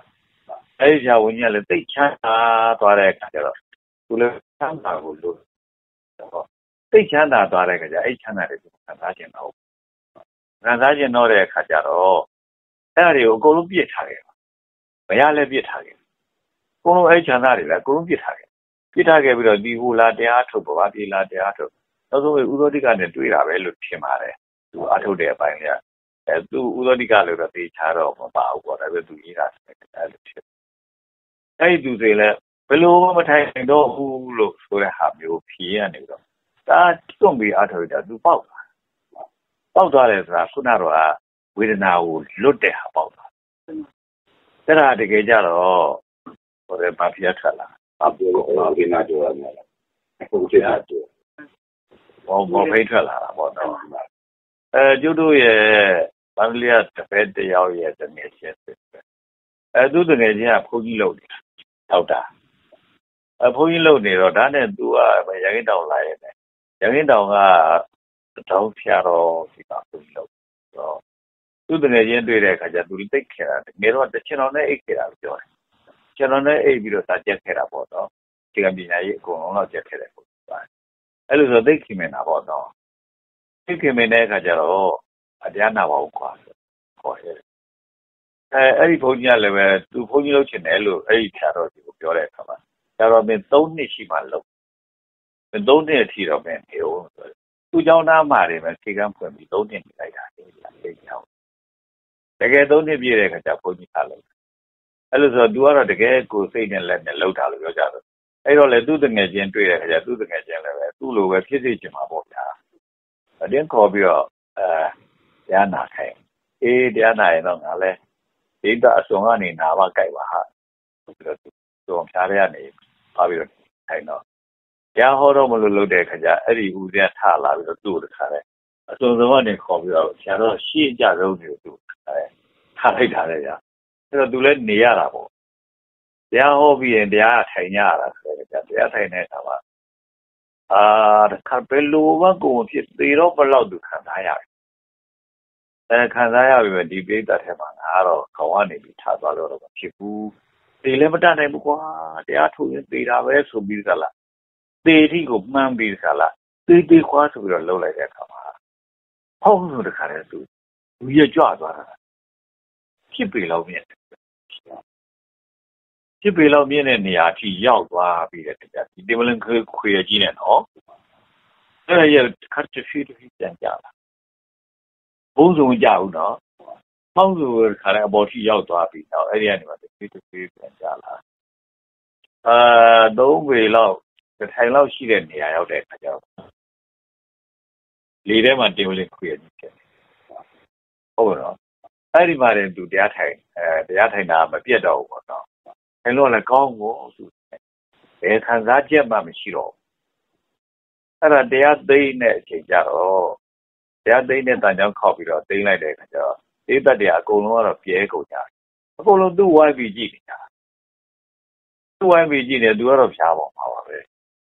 အဲဒါပေမဲ့သူကတော့အဲ့လေထဲကနှစ်တောင်လောက်မြင်တဲ့နေရာမှာအဲတော့တရားထိုင်နေပေါ့ကဲအဲ့လိုဖြစ်သွားတယ်ဆိုလိုတာကတော့ဒီခုနတော့က မော်ဖိန်းကတော့ဟုတ်နော်အင်ဒိုဖိန်းပေါ့အင်ဒိုဖိန်းကလှုပ်လိုက်တာသူ့အတိပေါ့နော်တခါတည်းကိုဘိုးဘော်တောင်းခင်ထဲမှာနေနေရတယ်ဆိုတော့ဖြစ်တော့တာလို့ပြောကြလို့နော်အဲဒါကိုအဲယုံကြည်ရလည်းမကောင်းယုံနိုင်ကြလည်းမရှိလို့ပြောရမလို့တော့ဖြစ်တာပေါ့ဗျာဘာလို့ဆိုတော့ကိုယ်လည်းဘုသူတာသိရှိတာမဟုတ်တော့မရှိတာပေါ့နော်အဲ့ဒီထဲမှာ ရုပ်ရဲ့ဒီကျောင်းမှာနေသွားခဲ့တဲ့ကိုမင်းမြင့်ဆိုတဲ့လူတယောက်ကသူကကိုလည်းစားဘူးတယ်ဘိန်းလည်းရှူတယ်သူကအဲ့လိုပေါ့နော်ဂလောင်းစားကစားလည်းဒိုင်ခံပြီးတော့ကိုလုပ်ခုတယ်အဲအဲ့လိုသူပေါ့ဗျာအဲ့သူကဘာပြောလဲဆိုတော့ဒီကျောင်းရပြောတဲ့အခါမှာဟုတ်တယ်တဲ့မဟုတ်ဘူးဗျာနေတယ်သူကတပီတော့ကိုရှူတာတဲ့တကယ်ကိုတပီတော့အောက်မှာတိမ်နေတဲ့တော့ခင်တပီတော့ကြောက်သွားတာ တိတ်နေဆိုပြီးတော့တခါတည်းသူအဲ့လိုပဲကောင်းပင်ပေါ်မှာတင်ပိန်ကြပြီးတော့နေနေတာတဲ့စမ်းကြည့်လိုက်တော့လေအောက်ကကတင်ဟုတ်တော့သူကတင်ပေါ်မှာပဲပေါ့ဒါပေမဲ့သူကကတင်ပေါ်မှာလည်းမထင်ဘူးတိတ်ပေါ်မှာနေကဲဆိုလိုတာတော့ဘယ်မှာဘာဖြစ်နေလဲကိုယ်စိတ်ကဖြစ်တဲ့ဟာတော့ဖြစ်နေတာလို့ပြောရမှာပေါ့ဗျာနော်အဲ့တော့အဲ့ဒီတိုင်းပဲကောင်းကင်ဘုံမှာရောက်နေတယ်လို့သိစင်းရနေပြီးတော့အဲ့ဒါကိုပျောက်သွားအောင်ခုန မော်ဖိန်းတွေကိုဘုန်းတော်ကနေ ထုတ်ပေးလိုက်တဲ့အခါကျတော့ ဟုတ်ပြီတော့တကယ်တော့ လူကလည်းပဲ တကယ်ကိုကို ချမ်းမြေ့သွားတာပြောကြတယ်နော် အဲ ကျုပ်တို့ကိုကြီးကိုဟိုဘုန်းတော်ကနေ ချုပ်ကြိုက်ထားတယ်ဆိုတာကို ပိုးပို့ပြီး နားလဲကြအောင်ကောင်းတော့တာပေါ့နော် ကျုပ်တို့အုံနောက်က ဘယ်လိုဖြစ်နေလဲဆိုတော့ ကျုပ်တို့ကတာမန်အဖြစ်ဆိုပြော့ပြော့ပြီပဲ ဘယ်သူချိုးလို့တော့ပြော့ပြော့တွေကိုတကယ်ဘေးရနဲ့ တွေ့ကြည့်ပါလား တော့မားလာတော့ဟုတ်လားမားလာဓာတ်နဲ့ဆွဲပြီးခေါ်မလားဓာတ်နဲ့ဆွဲပြီးထောမလားဟုတ်နော်ဖြစ်လာတာအဲ့ဒါတွေဘာနေဖြစ်တာလို့ဘုံတော့ကနေထုတ်ပြတာဗျဟုတ်ပြီနော်အဲ့ဒါလည်းငယ်ငယ်တော့တခါတည်းကျုပ်ကအဲ့ဒီထုတ်တဲ့အုံနောက်ကိုအတော်ကြီးကိုကျုပ်တင်တာတတ်တတ်မှတ်မှထားရတာနော်တကယ်တော့စိတ်တူတယ်ဆိုတာအဲ့ဒီအုံနောက်ကနေပြီးတော့အဲ့ဒီဓာတ်ထုတ်ပေးလိုက်တဲ့အခါမှာတရားဓာတ်တွေကျွတ်ထွက်လာတာ တရားဓာတ်တွေထွက်လာပြီဆိုရင်တရားဓာတ်ကဓာတ်ငွေတွေဖြစ်တာဟုတ်ရတော့အဲ့ဒီဓာတ်ငွေတွေဖြစ်ပြီးဆိုရင်အဲ့ဒီဓာတ်ငွေတွေကမီးလောင်တာတွေဆိုတော့ဥပမာတို့ဆိုင်ကယ်တို့အဲမော်တော်ကားတို့မှာဓာတ်ငွေတွေအများကြီးဓာတ်စီတွေအများကြီးစလီတာတွေကိုသွင်းလိုက်တဲ့ပြင်မိဖို့တွေတစ်ခါတမ်းပြီးတော့ထွက်လာမှာလားအတန်လည်းဟောနဲ့ဖြစ်လာမှာလားခုလေအဲ့တိုင်ဖြစ်သွားတာလေဗျအဲ့တော့ကိုနဲ့တယောက်ယောက်ကနေရန်လုပ်ပြီးဆိုရင် ဒီလိုပြန်လဲခံတက်ရမှာလားပြေးရမှာလားပေါ့အဲ့ဒါမျိုးပြေးမယ်ဆိုရင်လည်းအားလိုတာပဲမဟုတ်လားဒီတိုင်းနဲ့ကတော့မပြေးနိုင်ဘူးရောရောလေးခံတိုက်မယ်ဆိုရင်လည်းအားလိုတာပဲဒီတဲ့နဲ့ကတော့ခံမတိုက်နိုင်ဘူးပေါ့နော်အဲ့တော့သူ့အုံနောက်ကနေပြီးတော့ခံတိုက်ဖို့ရတော့မဟုတ်ပြေးဖို့ရတခုခုကိုတိသွားပြီလို့ဆိုတဲ့ခါကျအုံနောက်ကနေပြီးလားဟောအဲ့ဒါထုတ်ပြီးလိုက်တာလေထုတ်ပေးလိုက်ပြီဆိုရင်တော့တကယ်သွေးထဲမှာတရားဓာတ်တွေရောက်ကုန် အဲတရားဓာတ်တွေရောက်ကုန်တဲ့အခါကျတော့တကယ်ကိုဒါလူကတောင်းတောင်းတင်နေတဲ့တိုက်နိုင်ခိုက်နိုင်တဲ့အားတွေဖြစ်သွားတော့တာပေါ့နော်တချို့အယူတွေဆိုလို့ရှိရင်တခါတည်းထခုံလိုက်လို့ရှိရင်ဒီအိမ်ထဲမှာခုံလိုက်လို့ရှိရင်အေးရမျက်နှာချက်ကိုရောက်အောင်ခုံနေပဲလူတယောက်ရဲ့ပဂတိအားပဲခုံနေလို့လေနော်ဘယ်ကိုခါလောက်ရောက်အောင်မြင်အောင်တော့မခုံနိုင်ဘူးနော်အဲကိုတရလွတ်ဖို့ဆိုတာတော့ဝေးရောအဲနော် တကယ်ကတော့သူ့မှာအဲ့လိုအားမရှိပြီပဲခုနကလိုပဲအဲသူ့ရဲ့ဓာတ်တရားပေါ့ဗျာတော့ထုတ်လိုက်ပြီလို့ဆိုတဲ့အခါကျသူကအားရထွက်လာပြီးတော့အဲ့လိုဖြစ်တာလို့ပြောကြတယ်နော်အေးဒါတွေကလည်းပဲပြောလို့ဆိုရင်တော့ဘုသူဒ္ဓတွေလို့သာပြောမှာပါပဲကို့အတွေ့အကြုံကတော့မရှိနိုင်ပါဘူးတော့အဲ့တော့ဘာဖြစ်နေနေဒီသုဒ္ဓတွေအဲအဲဒီသုတတွေသိနေတာအနေထားရဟုတ်မနော်တမန်ဒါ ကျွတ်တို့အကုန်လုံးသိကြရမယ်လားနော်တမန်ဗျာအဲ့တော့ဒီလူကြီးဟာဘာမှမဟုတ်ဘူးလို့ပြောတယ်ပေါ့အဲ့တော့ငယ်ငယ်ကတွဲပြီးကြားတာဆိုရင်ကျွဲတဲ့ကောင်ကိုအုံနောက်ကိုခွဲပြီးတော့အုံနောက်ထဲကအစိတ်ပိုင်းနှစ်ခုကိုဒီခါရဲဝါယာနဲ့ပေါ့ဗျာအဲဒီအထက်ကဟိုလည်းလည်းထုတ်အင်တာလေးလည်းထုတ်ထားတာပေါ့နော်တမန်ဝါယာနဲ့တခါရဲထက်အောင်ရယ်ချက်အောင်ရယ်ဒီဘက်ကနေပြီးတော့ရမှုနဲ့တခါရဲ အဲကွာနေတယ်ဆိုရင်ချက်တော့အောင်လုပ်လိုက်ချက်နေတယ်ဆိုရင်ကွာတော့အောင်လုပ်လို့ရတယ်ပေါ့ဗျာဒီဘက်ကအဲသူတို့ဆက်လိုက်လို့ရှိရင်ကျွဲရတခါရဲဒေါသတွေထွက်ပြီးလိုက်ခတ်တော့တာဆိုလိုက်ခတ်ပြီးပြီးပြီးကိုသားရောက်လာပြီဆိုရင်ရမှုကိုပြန်နှိမ့်လိုက်တဲ့အခါကွာသွားပြီကွာသွားပြီဆိုကျွဲရရင်သွားပြီဗျာဟောဒါပြောမစင်တော့အုံနောက်ကနေပြီးတော့ခုနကပြောတဲ့ဒေါသနဲ့ဒီဒေါသလွတ်တာနဲ့ဟိုတမန်ဖြစ်စေတာဟိုဒါအကျုပ်ကနေတော့ ပေါ်လွင်အောင်ပြောတာပါဗျာနော်တမန်ဗျာဒါတကယ်အဖြစ်နော်တမန်အဲတကယ်အဖြစ်ကိုသိပ္ပံဆရာတွေအဲ့ဒါလိုသတ်သတ်ပြီးတော့ထားထားတာပေါ့နော်တမန်အဲ့တော့အဲ့ဒါတွေကလည်းပဲကျုပ်တို့အဖြစ်ဝေးပါဘာမှမသိဘူးလို့ဒီလိုပြောကြတယ်ပေါ့နော်တမန်ဗျာအဲလျှက်စစ်တော့မှဟုတ်ဒီဘက်ဒီသိတာမဟုတ်တာဆိုတဲ့ခါကျအဲ့လိုသိသားချက်ခိုင်းစီခိုင်းချက်တွေကြာဘယ်သိမှာတော့ပေါ့နော်တကယ်တော့သုတဆိုတာရှိမှဖြစ်တယ်သုတဆိုတာရှိမှလည်းပဲအဲ သူများဟာတွေကိုဖယ်ရှားနိုင်တာတွေလက်ခံနိုင်တာလို့ဆိုတာဖြစ်တယ်လို့ဆိုတော့သူတို့ပြောရတာတော့တမန်တော့ဆရာလေးတို့ဆိုရင်လည်းတတ်နိုင်စကားအထိကိုတွေ့ရတာတွေလို့မြင်ရတာတွေလို့ကြားရတာတွေလို့ဆိုတာတွေဟာတကယ်ကိုဝေစားပြီးတကလားဒါသူ့အဖြစ်ကိုရောက်အောင်အဲဒါဝေဖန်တော်လို့ဆိုတာမျိုးတွေခါလေးလို့ဆိုတာပြောရတယ်ချိန်တိုင်းလို့လို့ပြောရတယ်ဟုတ်တော့သူတို့ကခါးလေးသွားကိုအဲ့လိုပဲလှုပ်လာခဲ့တာဖြစ်တဲ့အတွက် ကိုမြတ်တစ်ချက်လောက်ပြီးသွားပြီဆိုရင်အဲ့ဒါမမေ့တော့ဘူးဗျာအခုတော့ကျွဲကိုအဲ့လိုမျိုးလို့အာခွဲစိတ်ပြီးသလားခွေကျင်အောင်ရဲ့ရင်ကျင်အောင်ရဲ့အဲ့နှစ်ခုလောက်တာဆိုလို့ရှိရင်တော်တော်ငယ်ငယ်ကြုတ်တည်ခဲ့တာတမန်ဟောအဲ့လိုမျိုးလို့အတိလေးတွေဆိုရင်မပြောက်တော့ဘူးဒါဆိုတော့ထိတ်ထားလိုက်တာပေါ့တော့အဲအဲ့လိုမျိုးလို့ပေါ့ဒါကိုကနေပြီးတော့တိတိကျကျဒါတကယ်အဖြစ်ဆိုပြီးသလားမှတ်သားမှာပေါ့တော့အခုလည်းပဲကျုပ်တို့က လူရဲ့အဖြစ်ဆိုရင်ဘာမှမဟုတ်ဘူး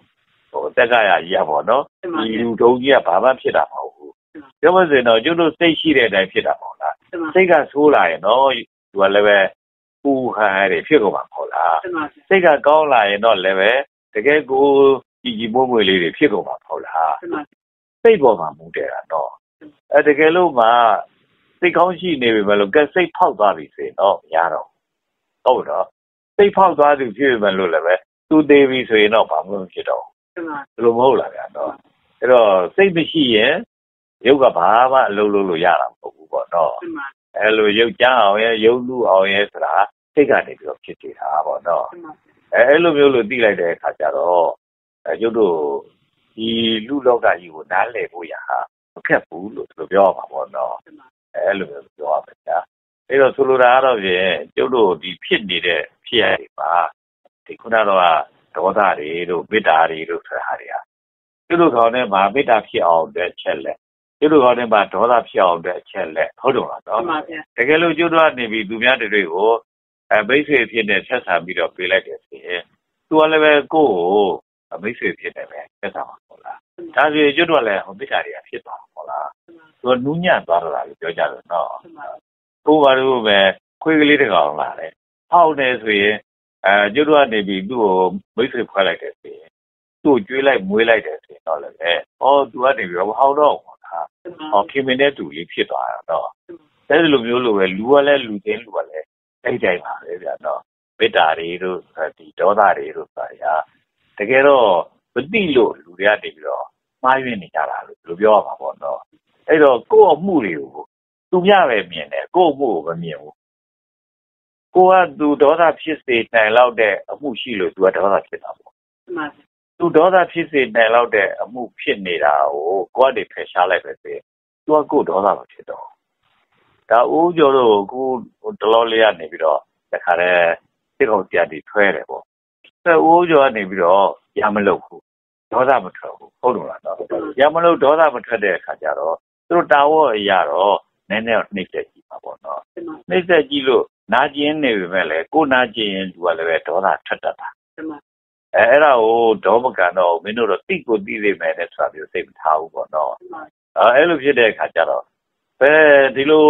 လာပြီးဖမ်းသွားပြီးတော့လွတ်ပလိုက်တယ်လို့ဆိုတာပြောမရှိတဲ့လောက်ရှားလို့အဲ့လိုပြောရမှာပေါ့နော်ကိုယ့်ရဲ့သူတို့အပေါ်မှာထားတဲ့အဲစိတ်ထားကယုတ်ထားတယ်ကိုလည်းကြောက်ပါမှာလားမှန်ပါဗျာ စိတ်နဲ့ယုတ်နဲ့ကလည်းတစ်ခုတည်းလို့လို့နေတာဗျစိတ်ရှိတဲ့အတိုင်းယုတ်ကလည်းရှိတာစိတ်ကထမ်းနေရင်ယုတ်ကလည်းထမ်းတာပဲစိတ်ကပြော့သွားရင်ယုတ်ကလည်းပြော့တာပဲပေါ့တော့အဲအဲ့လိုမျိုးလို့ဖြစ်တဲ့အတွက်တတ်နိုင်သမျှဒီဒါမေတ္တာကပြောင်းထားကြပါလို့ပြောမျိုးပေါ့နော်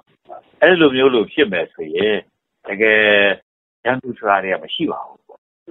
ဥပမာတို့မွေးကြိုက်တယ်တို့ဖွေးကြိုက်တယ်တို့ဆိုတဲ့ဟာတွေတော့ပါလေအဲ့ဒီသဘောရှိတယ်ကြာကြားကြိုက်တယ်လို့ဆိုရအောင်နော် သူတို့ဒါမိတ်ဆွေဖြစ်တဲ့ပုံတရာနဲ့သာဆက်ဆံပေးတာပါအဲ့ဒါဆိုရင်သူတို့ကလည်းပဲတကယ်ကိုကိုကြိုက်ရလို့ကိုမမှတ်ကိုမတော့တော့ဖြစ်ပါပါလို့ပြောချင်တယ်ကြာနော်မှန်ပါဗျာဟိုဘက်ဒီဟိုဘက်တထုံဘက်မှာတောကြီးတွေရှိတာကိုတောင်နေတောတွေတောနေတဲ့ဘုန်းကြီးတွေတောတွေအဲ့ဒီတောတွေထဲမှာဘုန်းကြီးတွေအမလေးဆင်းနေလဲလာတာပဲတဲ့ကြားတွေလဲလာတာပဲတဲ့ကြားတွေကလည်းသူ့ရမလို့ဆင်းတွေကလည်းသူ့ရမလို့ ဟုတ်တော့ဟုတ်တာပဲဗျတကယ်ဆိုတော့လည်းပဲအဲတော့တဲ့ပါအကောင်ပလောင်အချင်းချင်းတွေရှိတယ်ပေါ့တော့ကောင်းမလောင်ချင်းနေရှိတယ်ဆိုဒီကောင်နဲ့ဒီကောင်ရမလို့တာရှိတာပဲဟုတ်လားသူကလည်းသူလန်းသူသွား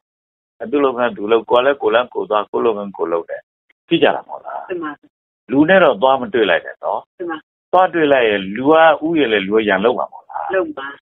သွားလည်းဥအောင်တယ်သူတို့ကလည်းပြန်ပြီးရန်လောက်ရတာမဟုတ်လားမှန်ပါဗျာအဲလူကြောင့် သူတို့ရန်လောက်တာလို့ပြောကြတယ်နော်လူကရန်မလောက်ဖဲနဲ့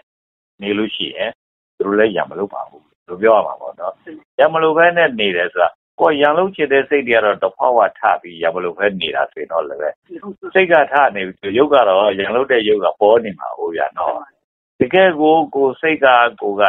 ရန်လောက်တဲ့စိတ်ဓာတ်ကိုအပီးရိတ်သက်ထားလိုက်လို့ရှိရင်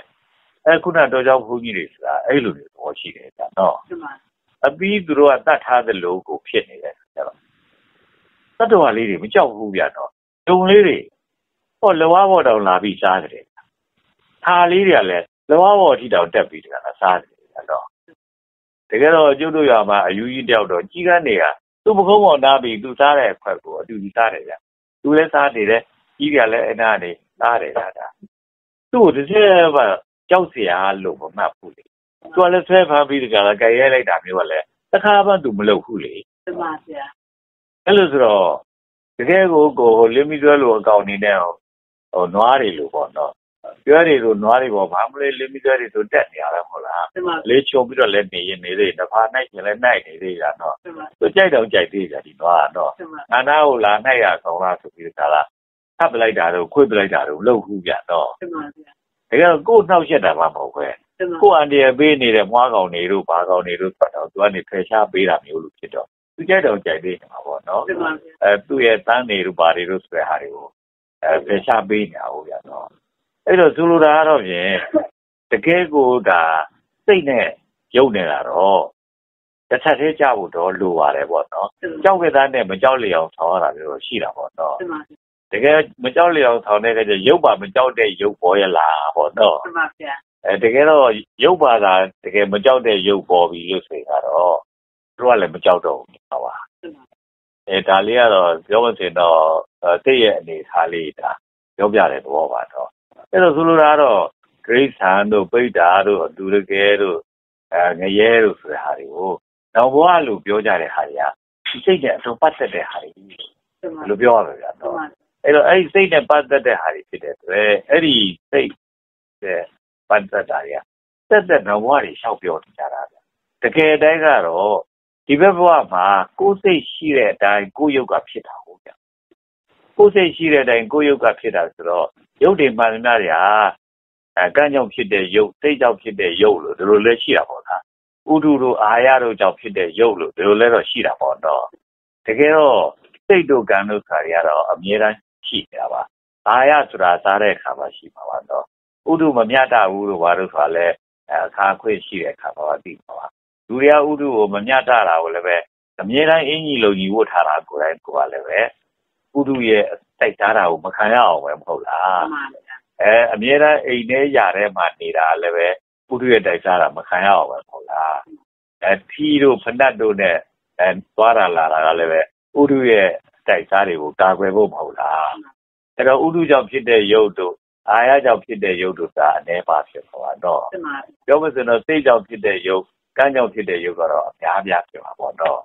အဲကြောင့်တကယ်တိုင်းကတော့အဲ့ဒါကြီးပဲဒါကျွတ်တို့မမှားကြဖို့လိုပါတယ်ပေါ့နော်တကယ်တော့အဲ့လိုမျိုးလို့ဖြစ်ခဲ့လို့ရှိရဲ့အဲမမှားအောင်ဆိုတာလည်းပဲကျွတ်တို့ရဲ့မှားတာကဘလို့လျောက်မှားတာမဟုတ်ဘူးကိုကအပြုတ်မှုပြုတ်မှုလိုက်တိုင်း လိုက်လို့ရှိရင်အဲ့ဒီအပြုတ်မှုကမှားလို့ရှိရင်အမှားဖြစ်ပြီကိုယ့်ရဲ့အပြောဆိုတာလည်းပဲပြောဆိုလိုက်ပြီလို့ဆိုလို့ရှိရင်အဲမပြောဆိုတိုက်တာမျိုးပြောဆိုပြီးပဲပါတယ်ကိုယ့်ရဲ့မျက်နှာအနေထားကိုလက်ဟပ်ပါချိုးပြတာပေါ့နော်အဲ့ဒါလည်းပဲချိုးပြတိုက်တာမဟုတ်ဘဲနဲ့ချိုးပြပြီးပဲအားပြီအဲ့ဒါလို့မှားရင်တော့အဲသူလည်းပဲခုနကပြောခဲ့တယ်မှားတဲ့ရုပ်တွေဖြစ်မှာမဟုတ်လားဗျာနော် ခွေးတကောင်ပဲဖြစ်ဖြစ်ကြောင်းတကောင်ပဲဖြစ်ဖြစ်သူ့မျက်နှာကြည့်လိုက်ရင်တော့မှအာရံလုံးမလားရံမလို့ဘူးလားလို့ဆိုပေါ်လွင်ဘူးလားဗျာပေါ်လွင်ပေါ်လွင်တာပဲအဲ့လိုပဲခွေးရဲ့မျက်နှာဟာဒီလူကိုယင်တဲ့သူရဲ့ပေါ်မှာထားတဲ့မျက်နှာတစ်မျိုးဟုတ်တော့အဲသူရန်လုံးရမဲ့သူ့ပေါ်မှာထားတဲ့မျက်နှာတစ်မျိုးမျက်စိနေပုံအနေထားလဲတခြားစီဟုတ်တော့အဲလိုဆိုတော့ခွေးမျက်နှာအဲ့လိုဖြစ်တယ်လို့ကြောင်းမျက်နှာလည်းအဲ့တိုင်းဖြစ်တာပဲနော်ကဲလူမျက်နှာလဲဘာလို့ပါလဲတဲ့ပေါ့နော် ရုပ်ရှိတဲ့အတိုင်းသိရှိတာသိရှိတဲ့အတိုင်းရုပ်ကလည်းရှိတာသိနေရုပ်နဲ့အတူဖြစ်တာလို့ဆိုတဲ့ခါကျတော့သူကတကယ်ပဲမှားတာမှန်တာကိုအဲမှားတာဆိုရင်တော့ငါရှောင်ပဲကွာမှန်တာမှငါလုံးမယ်လို့ဆိုတာမျိုးဖြစ်လို့ရှိရဲ့တကယ်ကိုကိုမှန်တာကိုပဲအာယုန်နဲ့မှမပြောင်းပေါ့နော်မှန်တာကနေငါလုံးဝမတွေ့ခဲ့သေးဘူးအဲဒီလိုမျိုးလို့စိတ်ထားမယ်ဆိုချင် တကယ်ပဲသူ့ရုပ်ကလည်းပဲမှန်တာပဲရှိကိုဥတည်နေမှာပဲမဟုတ်လားအဲဥတည်ပြီးနေပြီလို့ဆိုလို့ချင်အဲသူ့စိတ်ကမှန်တဲ့ဟာစီကိုဥတည်နေပြီဒီခါသူ့ရုပ်ကလည်းပဲမှန်တဲ့ရုပ်ဖြစ်နေမှာပဲဟုတ်လားဗျာနော်အဲလိုဖြစ်နေရင်ဘေးရကင်းမှာနော်ဥပမာတို့မှန်တဲ့အဲမှန်တဲ့စိတ်ဖြစ်ဖို့ရအတွက်ဘာလို့ရမှာတော့လို့ဆိုလို့ရှိရင်ကျုပ်တို့ဘုရားဟောထားတဲ့မင်္ဂလာတုတ်ပဲဆိုတော့နော် မင်္ဂလာတုတ်ထဲမှာ38ဖြာမင်္ဂလာလို့ဆိုမင်္ဂလာအကွက်တွေလေအဲပထမတစ်ခွက်ကလူမိုက်ပဲပြီးဝဲဝဲနဲ့နေရမယ်ဒုတိယတစ်ခွက်ကပညာရှိကိုပြီးဝဲရမယ်ဟုတ်တော့အဲတတိယတစ်ခွက်ကအာပူတော်တိုက်တဲ့သူတွေဂုံပြူတိုက်တဲ့သူချီမွန်းတိုက်တဲ့သူတွေရင်အဲပူဇော်ရမယ်အဲဂုံပြူရမယ်ချီမွန်းရမယ်ဒါတွေကပြောလို့ဆိုမှန်တာတွေမဟုတ်လားတော့သူဂုံပြူတိုက်နေမှတော့ဂုံပြူရမှာပေါ့တော့ သူဂုံပြူတိုက်နေတဲ့နဲ့ဂုံပြူချင်ဘူးလို့ဆိုချင်တယ်ပဲကိုမှန်မှာပါလားနော်အဲ तू ကပညာရှိနေရတာနဲ့အဲ့ဒီပညာရှိကိုအာကိုကနေပြီးတော့အာမပြုတ်ဘူးမပေါင်းတင်ဘူးလို့ဆိုရင်မှန်ပါမလားဗျာနော်ကဲလူမိုက်ကိုမှသွားပြီးတကလားပေါင်းတင်နေတယ်ဆိုရင်ဟုတ်မမှန်တော့ဘူးကိုယ့်ရဲ့အဲ့ဒီအပြုတ်မှုပြောဆိုနေထိုင်မှားပြီလို့ဆိုရင်စိတ်ကလည်းမှားတော့မှာမဟုတ်လားမှန်ပါဗျာအဲ့ဒါလို့ဆိုရင်စိတ်ကမှားတာဟောဒီမင်္ဂလာတွေနဲ့မပြည့်လို့စိတ်မှားတာ ဟုတ်နော်အဲဒီအသေဝနသဘာလနာယောဗတိဝဒေတာဝသောသယောဟုတ်ဘူးနော်အဲတိပိသအာဘာဟုတေသဒိပိသဆိုတဲ့ဟိုဟိုဒီနေရောပေါ့နော်မင်္ဂလာတွေရောပေါ့နော်အဲ့ဒီမင်္ဂလာတွေကိုကျွတ်တော့နေပြီမကြည့်အောင်အဲ့ဒီမင်္ဂလာတွေမကြည့်တော့ကျွတ်တို့ကိုလက်အနေထားတွေကမျက်နှာအနေထားတွေကစကားပြောတဲ့အတန်အနေထားတွေကသူထွက်ချင်တာထွက်ပေါ့ဗျာနော်ဟောအဲ့လိုထွက်ကြ ထွက်တော့အပြောအပြုအနေဆိုတဲ့ဟာတွေကလူတိုင်းသိတဲ့အရာတွေပေါ့လားအဲ့ဒီအရာတွေကမှားနေပြီလို့ဆိုတဲ့အခြေခံတော့သူများတွေကလည်းပဲကိုယ့်ကိုဒါရန်သူလို့မှတ်ပါပဲနော်ကိုယ့်ရုပ်ကအဲ့ဒါပေါ်နေမှာပဲမဟုတ်လားဟုတ်တယ်တကယ်တော့အဲ့ဒါလေးဟာအဲရုပ်ပေါ်တာနဲ့သူ့စိတ်ရှိတာနဲ့တစ်ဖက်တည်းဖြစ်တာအကြောင်းကတော့သူများတို့လည်းလူထဲမှာအများကြီးအကဲတွေအလေးတွေကိုခတ်ပြီးနေတာမဟုတ်လည်းပဲအလို့လျောက်သိနေတာတွေကတော့ရှိနေပါပါပဲဗျာနော် လူသောကလူသောပုံတရားလူကောင်းကလူကောင်းပုံတရားပေါ့နော်ရှိနေပါပါအဲလို့ဆိုတော့ကိုကအမြဲတမ်းလူကောင်းပုံတရားကမပြတ်ဖို့လိုပါတယ်လို့လိုပြောပါပါတော့လူကောင်းပုံတရားမပြတ်အောင်ဆိုလူကောင်းစိတ်ရှိဖို့လိုပါတယ်လူကောင်းလူကောင်းစိတ်ရှိအောင်ဆိုတာကလည်းမမွေးပြီးမရဘူးဟုတ်နော်လူကောင်းစိတ်ငါလူကောင်းစိတ်လုပ်မယ်လူကောင်းစိတ်လုပ်မယ်တဲ့ဒီလိုမျိုးလေးနဲ့လည်းမရဘူးဗျာနော်အဲလူကောင်းစိတ်ဖြစ်အောင်ဆိုလို့ရှိရင်ခုနလူမိုက်ကိုမပေါင်းမဲနေနေတာလဲလူကောင်းစိတ် မအပြင်ရှိကိုပေါင်းနေဆိုတာလူကောင်းစိတ်အဲပူဇော်ဂုံပြုတ်တဲ့သူကိုအဲချီးမွမ်းဂုံပြုတာလုပ်တယ်ဆိုတာလူကောင်းစိတ်ဟုတ်တယ်လားတော့ကဲဒါတွေကကိုကျင့်ရပါတယ်တမန်ဗျာအဲ့ဒါကြီးကျင့်လို့ရှိရင်ဒီလူကလူကောင်းစိတ်ဖြစ်ရမှာပဲတမန်ဗျာဒီလူလူကောင်းစိတ်ဖြစ်လို့ရှိရင်သူ့ယုတ်ကလည်းလူကောင်းယုတ်ပဲဖြစ်ရမှာမဟုတ်လားဟုတ်တယ်ဗျာသူ့ယုတ်ကလူကောင်းယုတ်ဖြစ်လို့ရှိရင်ဘယ်သူကနေပြီးဒါလာရန်လို့ချင်ပါလုံးချင်ဗျာဟုတ်ကဲ့နော်တမန်ဥပမာတို့မွေးတကောင်တွေ့တယ်ဆိုရင်ဝေဝေးဆိုရင်ကျွတ်ကနေပြီးတော့ အဲရိုက်တာချင်လာတယ်ဟုတ်ကဲ့နော်တမန်ဘာဖြစ်လို့လဲဆိုရင်တော့သူကကိုယ့်ကိုဥလို့ရှိရင်သူကကြိုက်ပါဦးတမန်ဗျာအဲသူကကြိုက်ရင်ကိုယ်သေးပါဆိုတဲ့ခါကျပုံသေးအောင်အတွက်သူ့ကိုအရင်တတ်ပါပဲဒါမျိုးဖြစ်လာတာပေါ့လားတမန်ဝေဝေးကလည်းပဲလူတွေကငါတွေ့ရင်တတ်ပါအဲ့လိုဆိုရင်တော့ငါဥအောင်ကြိုက်ပါပဲလို့သူကလည်းဥအောင်လုံးပါပဲမဟုတ်လားတမန်ဗျာဟောဘယ်သူကဥမလဲတော့မသိဘူးပေါ့ဗျာနော်တချို့လည်းမဝေးကဥလို့မလို့လူတွေသေးတမန်တချို့လည်းလူရဥလို့မလို့မဝေးသေးတမန် ဖြစ်တာနော်တမန်ဗျာအဲ့လိုပါပဲဗျာနော်အဲပြောပါစေတော့မွေတင်လားလို့ပြောဘယ်တိရစ္ဆာန်ဖြစ်ဖြစ်ဒီတိုင်းပဲတော့လည်းဒီတိုင်းပဲဗျာနော်ငါ့ကိုလူတွေကနေပြီးဒီကလားကြိုက်မုံမောင်းပြီးဒီကလားသူတို့အရင်ကိုခြွေရတာပေါ့လားတမန်ဗျာအဲရင်ကြီးအောင်ပေါ့ဗျာတမမန်င်းရင်ကြီးတာမဟုတ်ဘူးကြောက်လို့မလို့ညိန်သွားတာပေါ့ဗျာနော်တမန်ဗျာအဲအဲ့လိုမျိုးလို့ ညိန်သွားအောင်လုပ်တဲ့အတွက်ဘာလဲညိန်တော့သွားရတာပေါ့နော်တမန်တကယ်တည်းကတော့အဲ့လိုမျိုးပဲနဲ့တကယ်သူ့လုံးတဲ့တာချော့တဲ့တမန်သူ့ကြိုက်တာလေးနဲ့ကိုကနေလိုက်ပြီးကြလာပေးတယ်ဆိုရင်ဒါနွားကိုတကယ်ကိုလူကနေပြီးတော့ဒါအကောင့်နဲ့ဆက်ဆံလိုက်တာပေါ့နော်အကောင့်နဲ့ဆက်ဆံလိုက်နွားကလည်းလူလိုပဲတယ်ဗျာချွေဘိုးဘက်မှာကျုပ်ပဲကလားတယောက်တွေ့တယ်အဲ့ဒီကလားအိမ်လည်းပဲကျုပ်တယ်လေရည်နီးတာဆိုတဲ့အခါကျတော့ သူနွားလေးတစ်ကောင်မွေးထားတာတဲ့အဲ့ဒီနွားလေးတစ်ကောင်ကအဲ့ဒီသူမွေးထားတဲ့နမတွေကနိုးတွေကိုသူကဟိုလိုလုပ်တယ်ဟိုဖိတ်ချော်တာခညက်နဲ့နွားနို့နဲ့အဲလက်ဖက်ချောက်နဲ့ပေါ့ဒီနေ့လုံးတောက်လောက်အောင်အတွက်တွားတစ်ခါရဲဒီကိုမှတည်ထားတာတောက်ချင်တဲ့ချိန်တောက်သိရတော့သူနွားလည်းတိုက်တာပဲအဲ့လိုပဲဟောအဲ့လိုဆိုနွားကလည်းပဲလူလိုပဲဖြစ်နေတော့တာပေါ့ဗျာနော် လူသွားတဲ့နောက်ကနေလိုက်နေတော့တာပဲဟုတ်ဟုတ်သူကအိမ်လဲသွားလဲလိုက်တာပဲသူများအိမ်ဆိုအိမ်ပေါ်တက်တယ်ဆိုရင်သူကလည်းတက်တာပဲ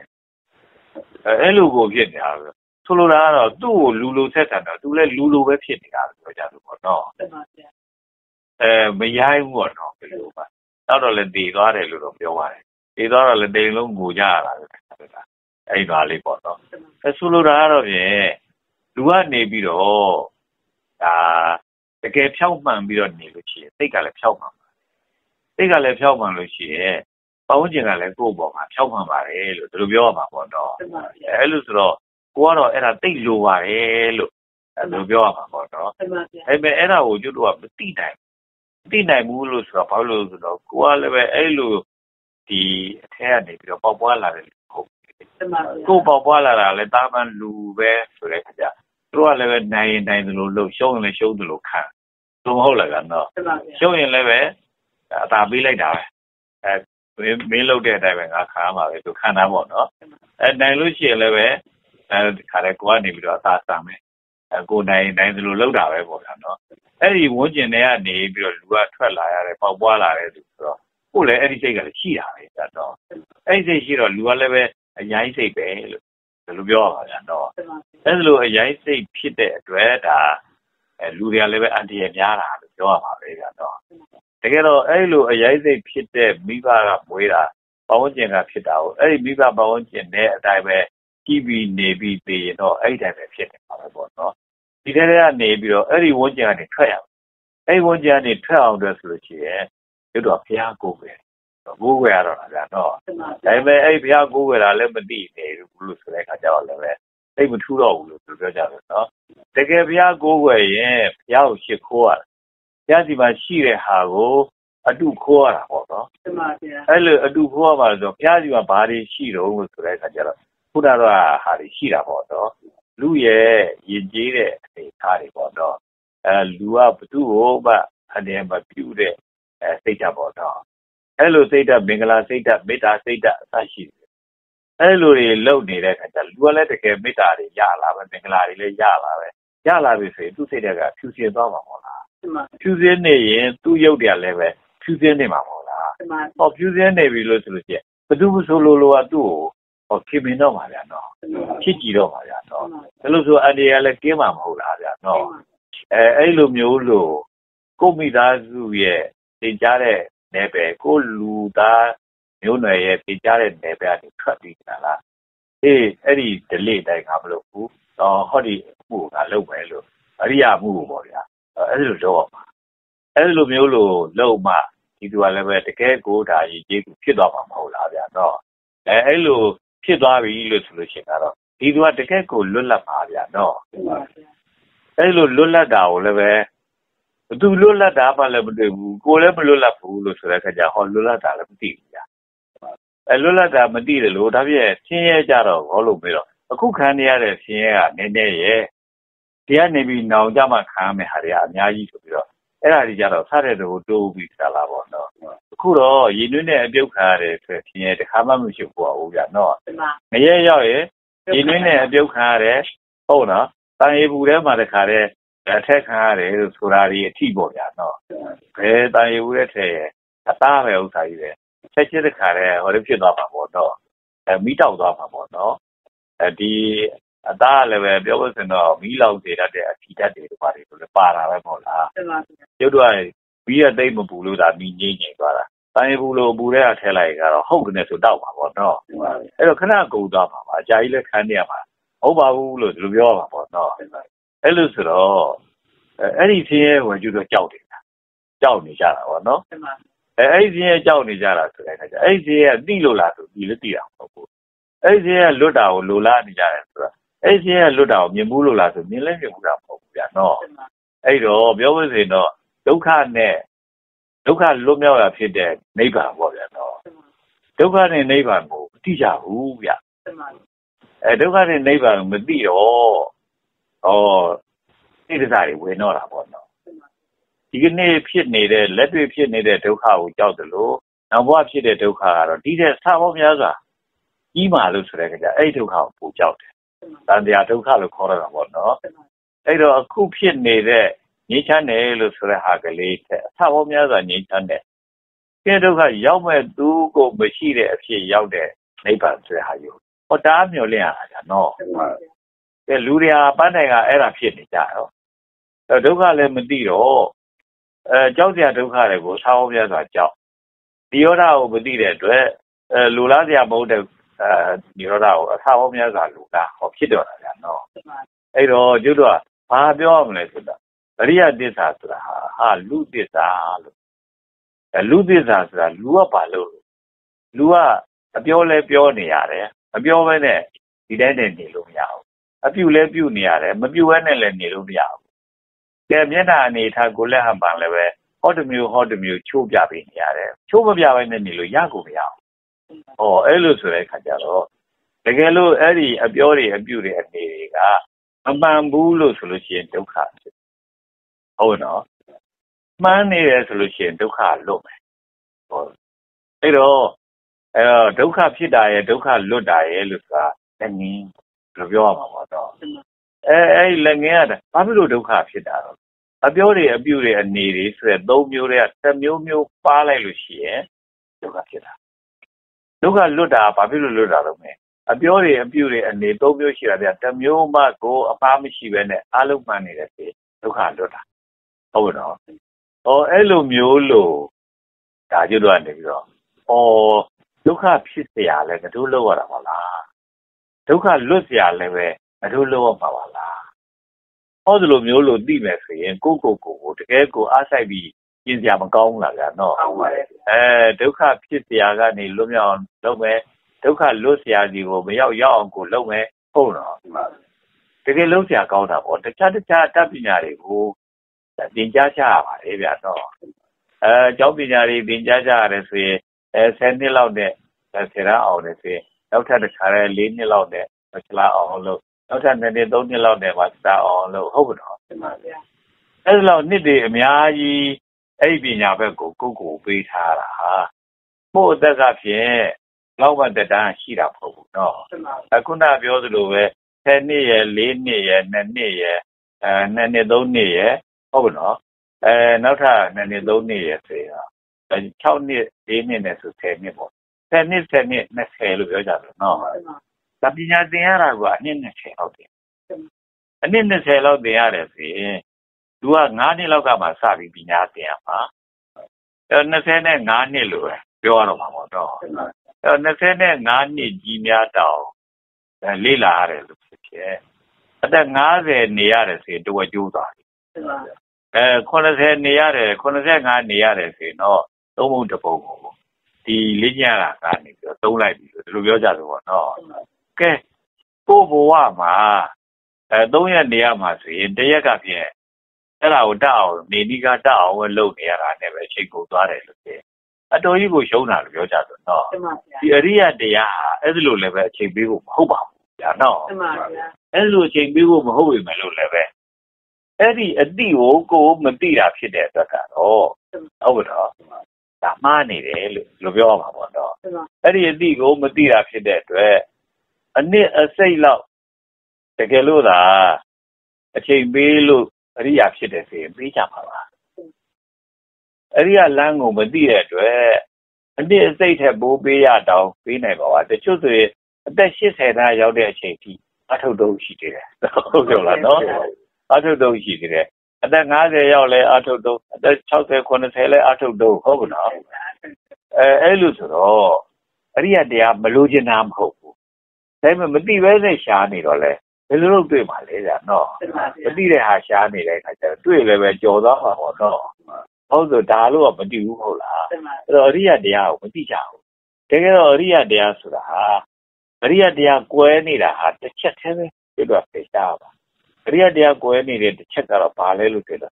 ကိုမသိတဲ့အရာကိုကိုလက်ခံထားတာပေါ့နော်ကိုလက်ခံထားတော့ကိုမသိတဲ့အရာကိုဖုံးလွှမ်းနေတာပေါ့နော် ကိုမသိတဲ့အရာကအခုနကပြောတယ်ဟိုဒီမယ်ပြတော့အဝိဇ္ဇာပဲဗျအဝိဇ္ဇာဆိုတာဘာလဲလို့မေးလို့ရှိရင်ဒုက္ခကိုလည်းမသိဘူးဒုက္ခဖြစ်ကြောင်းဖြစ်တဲ့သမှုတရားလည်းမသိဘူးဟုတ်တော့တခါဒုက္ခလွတ်ရာဖြစ်တဲ့ဒီရောဓလည်းမသိဘူးဟုတ်တော့ဒုက္ခလွတ်ကြောင်းဖြစ်တဲ့မက္ခလည်းမသိဘူးဒီချက်လေးချက်မသိတာပဲဗျတော့ဒုက္ခေအညာနာပေါ့ဗျာ ဣဒာဥစတိအဝိဇ္ဇာပေါ့ဗျာတော့ဟောဒုက္ခေဒုက္ခ၌အညာနာအတိမဖြစ်ဘူးအဲ့ဒါဣဒာဥစတိအဲ့ဒါကိုပဲဘဝိဇ္ဇာလို့ပြောတာဟုတ်တော့ဒုက္ခသမုဒိယအညာနာအဲဣဒာဥစတိအဝိဇ္ဇာပေါ့ဗျာတော့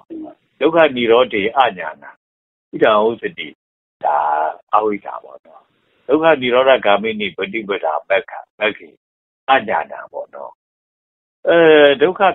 လွတ်ကြောင်းတရားလည်းမသိဘူးဒုက္ခလွတ်ရလည်းမသိဘူးဒုက္ခဖြစ်ကြောင်းတရားလည်းမသိဘူးဒုက္ခဖြစ်ရလည်းမသိဘူး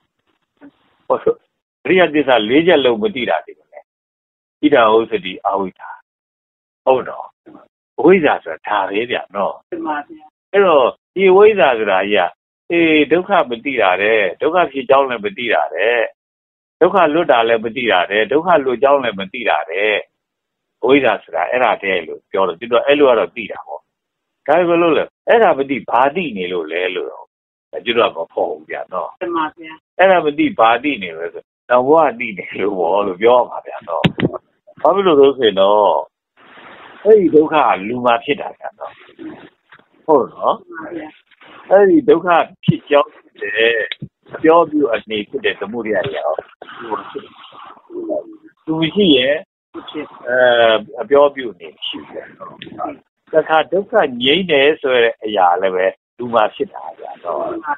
အဲဒုက္ခငြိမ့်တယ်ဆိုတော့ဒုက္ခမဖြစ်တာပဲဒုက္ခလွတ်တာပဲဒုက္ခလွတ်တယ်ဆိုတာကလူမရှိဒုက္ခဘယ်လိုလုပ်လို့မှာလဲတော့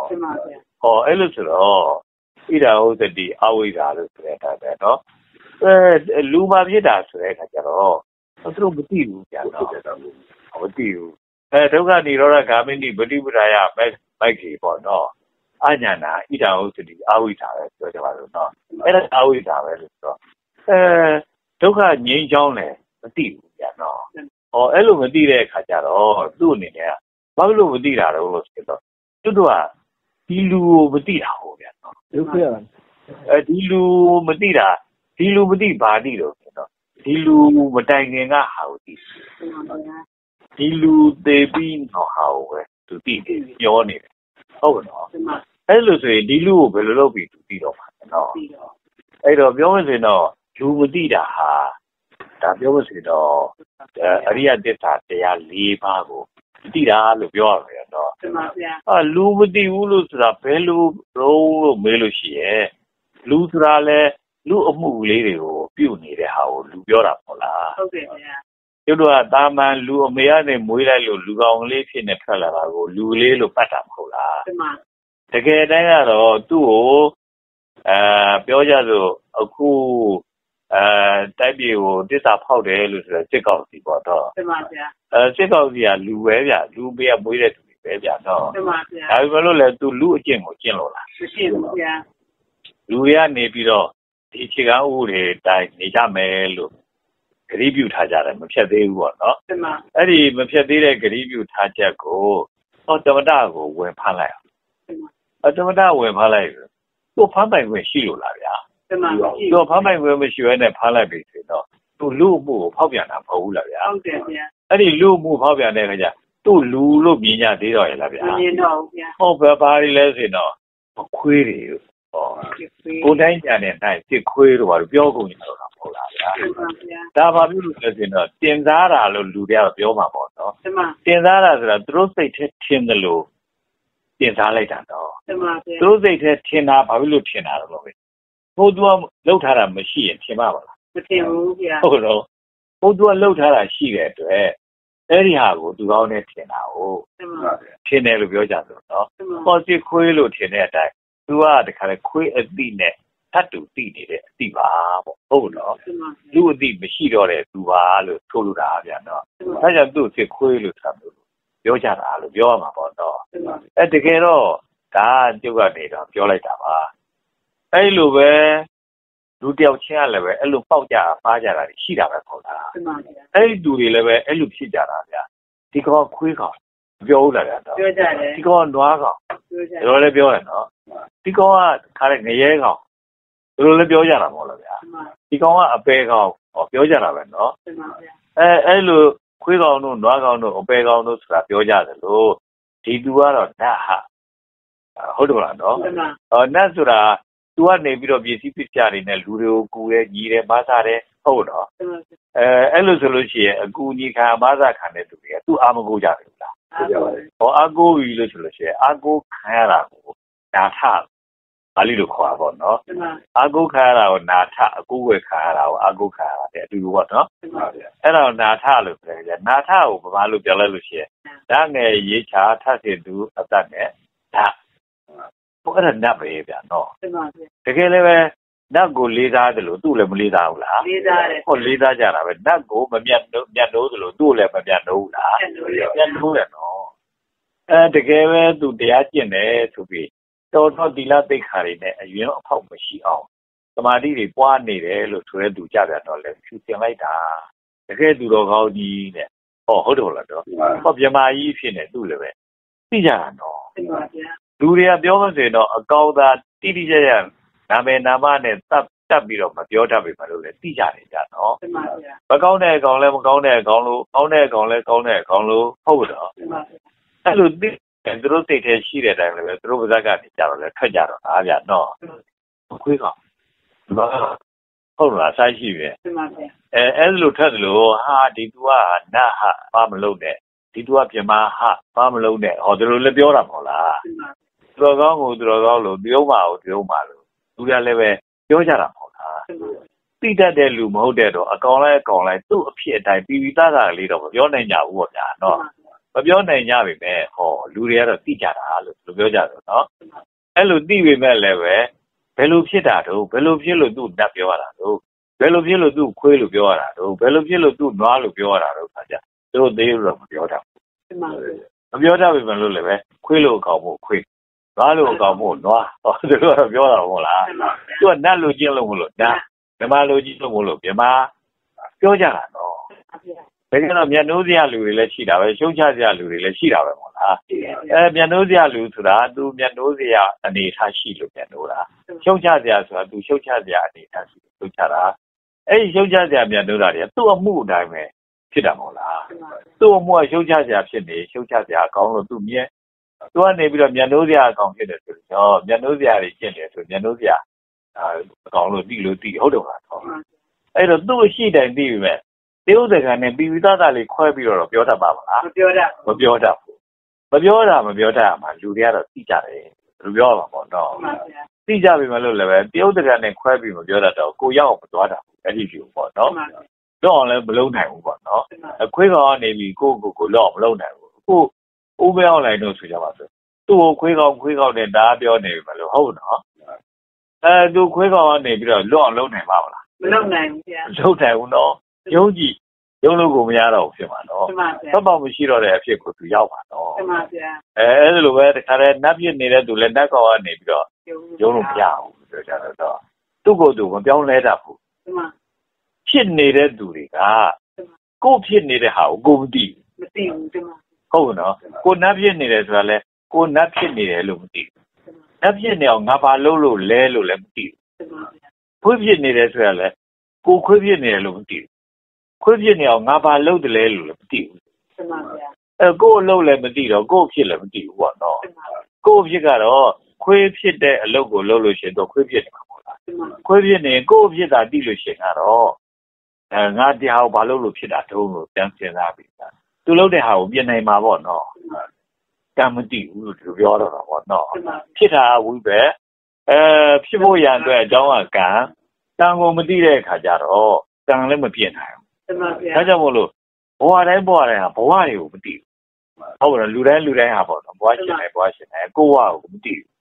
ကိုယ့်ဘဝကိုကိုယ်မသိလို့ရှိရင်ကိုယ့်ဘဝကိုမပြည့်နိုင်ဘူးမသိနိုင်အဲ့လိုမပြည့်နိုင်တဲ့အတွက်အဲ့ဒီကိုယ့်ဘဝကိုရှေ့ဆက်ပြီးတော့ပဲမမယွင်ပြင်ရတာပေါ့နော်ဒီမှာအမှန်မှန်ရင်းပြင်တယ်ဆိုတာကိုယ့်ကိုဒုံးနဲ့ရိုက်တယ်ဆိုရင်အဲ तू ကကိုယ့်ကိုဒုံးနဲ့နောက်ထပ်အရိုက်မခံရဖို့လိုတာပေါ့နော်ဒီမှာရိုက်မခံရဖို့အတွက်ဆိုရင်ဘာလို့လဲဆိုသူ့ကိုလက်တီးနဲ့ထိုးရမလား ဒုံးနဲ့ပြန်ရိုက်ရမလားဟောဟုတ်တယ်လုံးတော့တာမဟုတ်လားကဲ तू ကဒုံးနဲ့ရိုက်တာကိုကိုကနေလွတ်အောင်တဲ့ဒုံးနဲ့ပြန်ရိုက်ရင် तू ကလည်းဒုံးနဲ့ပြန်ပြီးတော့မရိုက်ပြီလား ရိုက်ပါဗျာ ဒါလို့ဆိုရင်ပိုးပို့ပြီးတော့ဒီရိုက်ချက်ကထိုးဆိုထိုးဆိုလာမှာတော့ ဒီမှာဗျာ အဲ့တော့ तू ကအဲ့ဒီသူ့ရဲ့ဒုံနဲ့ရိုက်ခံရတဲ့ဒုက္ခကလွတ်ချင်လို့ပြန်ပြီးသူ့ကိုဒုံနဲ့တော့ရိုက်တာပဲအဲအဲ့ဒီဒုံနဲ့ရိုက်ခါမှာပိုးပြီးတော့ဒုံနဲ့ရိုက်တဲ့ဆက်ကွင်းနဲ့ပိုးနစ်သွားတာမဟုတ်လား ဒီမှာ အဲ့ဒီဝိဘက်ကိုကြောက်တယ် အဲ့ဒီဝိဘက်ကဘာကြောင့်ဖြစ်တယ်လို့ဆိုတာမသိဘူးမသိတဲ့အတွက်ဒီဝိဘက်ကိုတခါလဲအဲအာယုတစ်ခုနဲ့ဖြောက်လိုက်တဲ့အခါမှာကိလေဖြောက်ချင်တဲ့ကိလေသာပေါ်တာပေါ့နော်ဒီမှာအဲကိလေသာပေါ်ပြီးတခါလားတခါလဲသူ့ပြန်ပြီးတခါလားအလုပ်တော့တာအဲ့ဒါအတန်တရားလဲတာလို့သူပြောကြတယ်ပေါ့နော်ဒီမှာဗျာအဲ့တော့တန်တိဖို့ရန်ကတော့အတော့ကိုဒါခက်ခဲပါတယ်လို့ပြောရမှာပေါ့နော်တန်ကိုတိတိပြောခဲ့တဲ့သူကလည်းပဲအများအပြားလည်းမရှိဘူးတယောက်တည်းရှိရမလား ဗုဒ္ဓဗုဒ္ဓတယောက်တည်းရှိတာဗုဒ္ဓရှိရလည်းပြောသူမရှိဘူးဟိန္ဒူတွေကံပြောရတယ်ဆိုတာယတဝါဒတွေပြောတာတော့နောက်ဘဝကံတွေရတယ်အခုဘဝကိုဖြစ်စေတယ်လို့ဆိုတာမျိုးပြောတာဆိုရမ်းပြောတာမဟုတ်လားဒီမှာဗျာအဲလို့ဆိုတော့ရှင်းခါဗုဒ္ဓမရှိခင်တော့ကံမသိပါဘူးကံသိသူတယောက်မှမရှိဘူးလို့ဘာလို့လို့ပြောမယ်ဗျာနော်ဗုဒ္ဓဖြစ်ပြီးတဲ့နောက်ကြတော့လည်းပဲဗုဒ္ဓပြောချက်ကို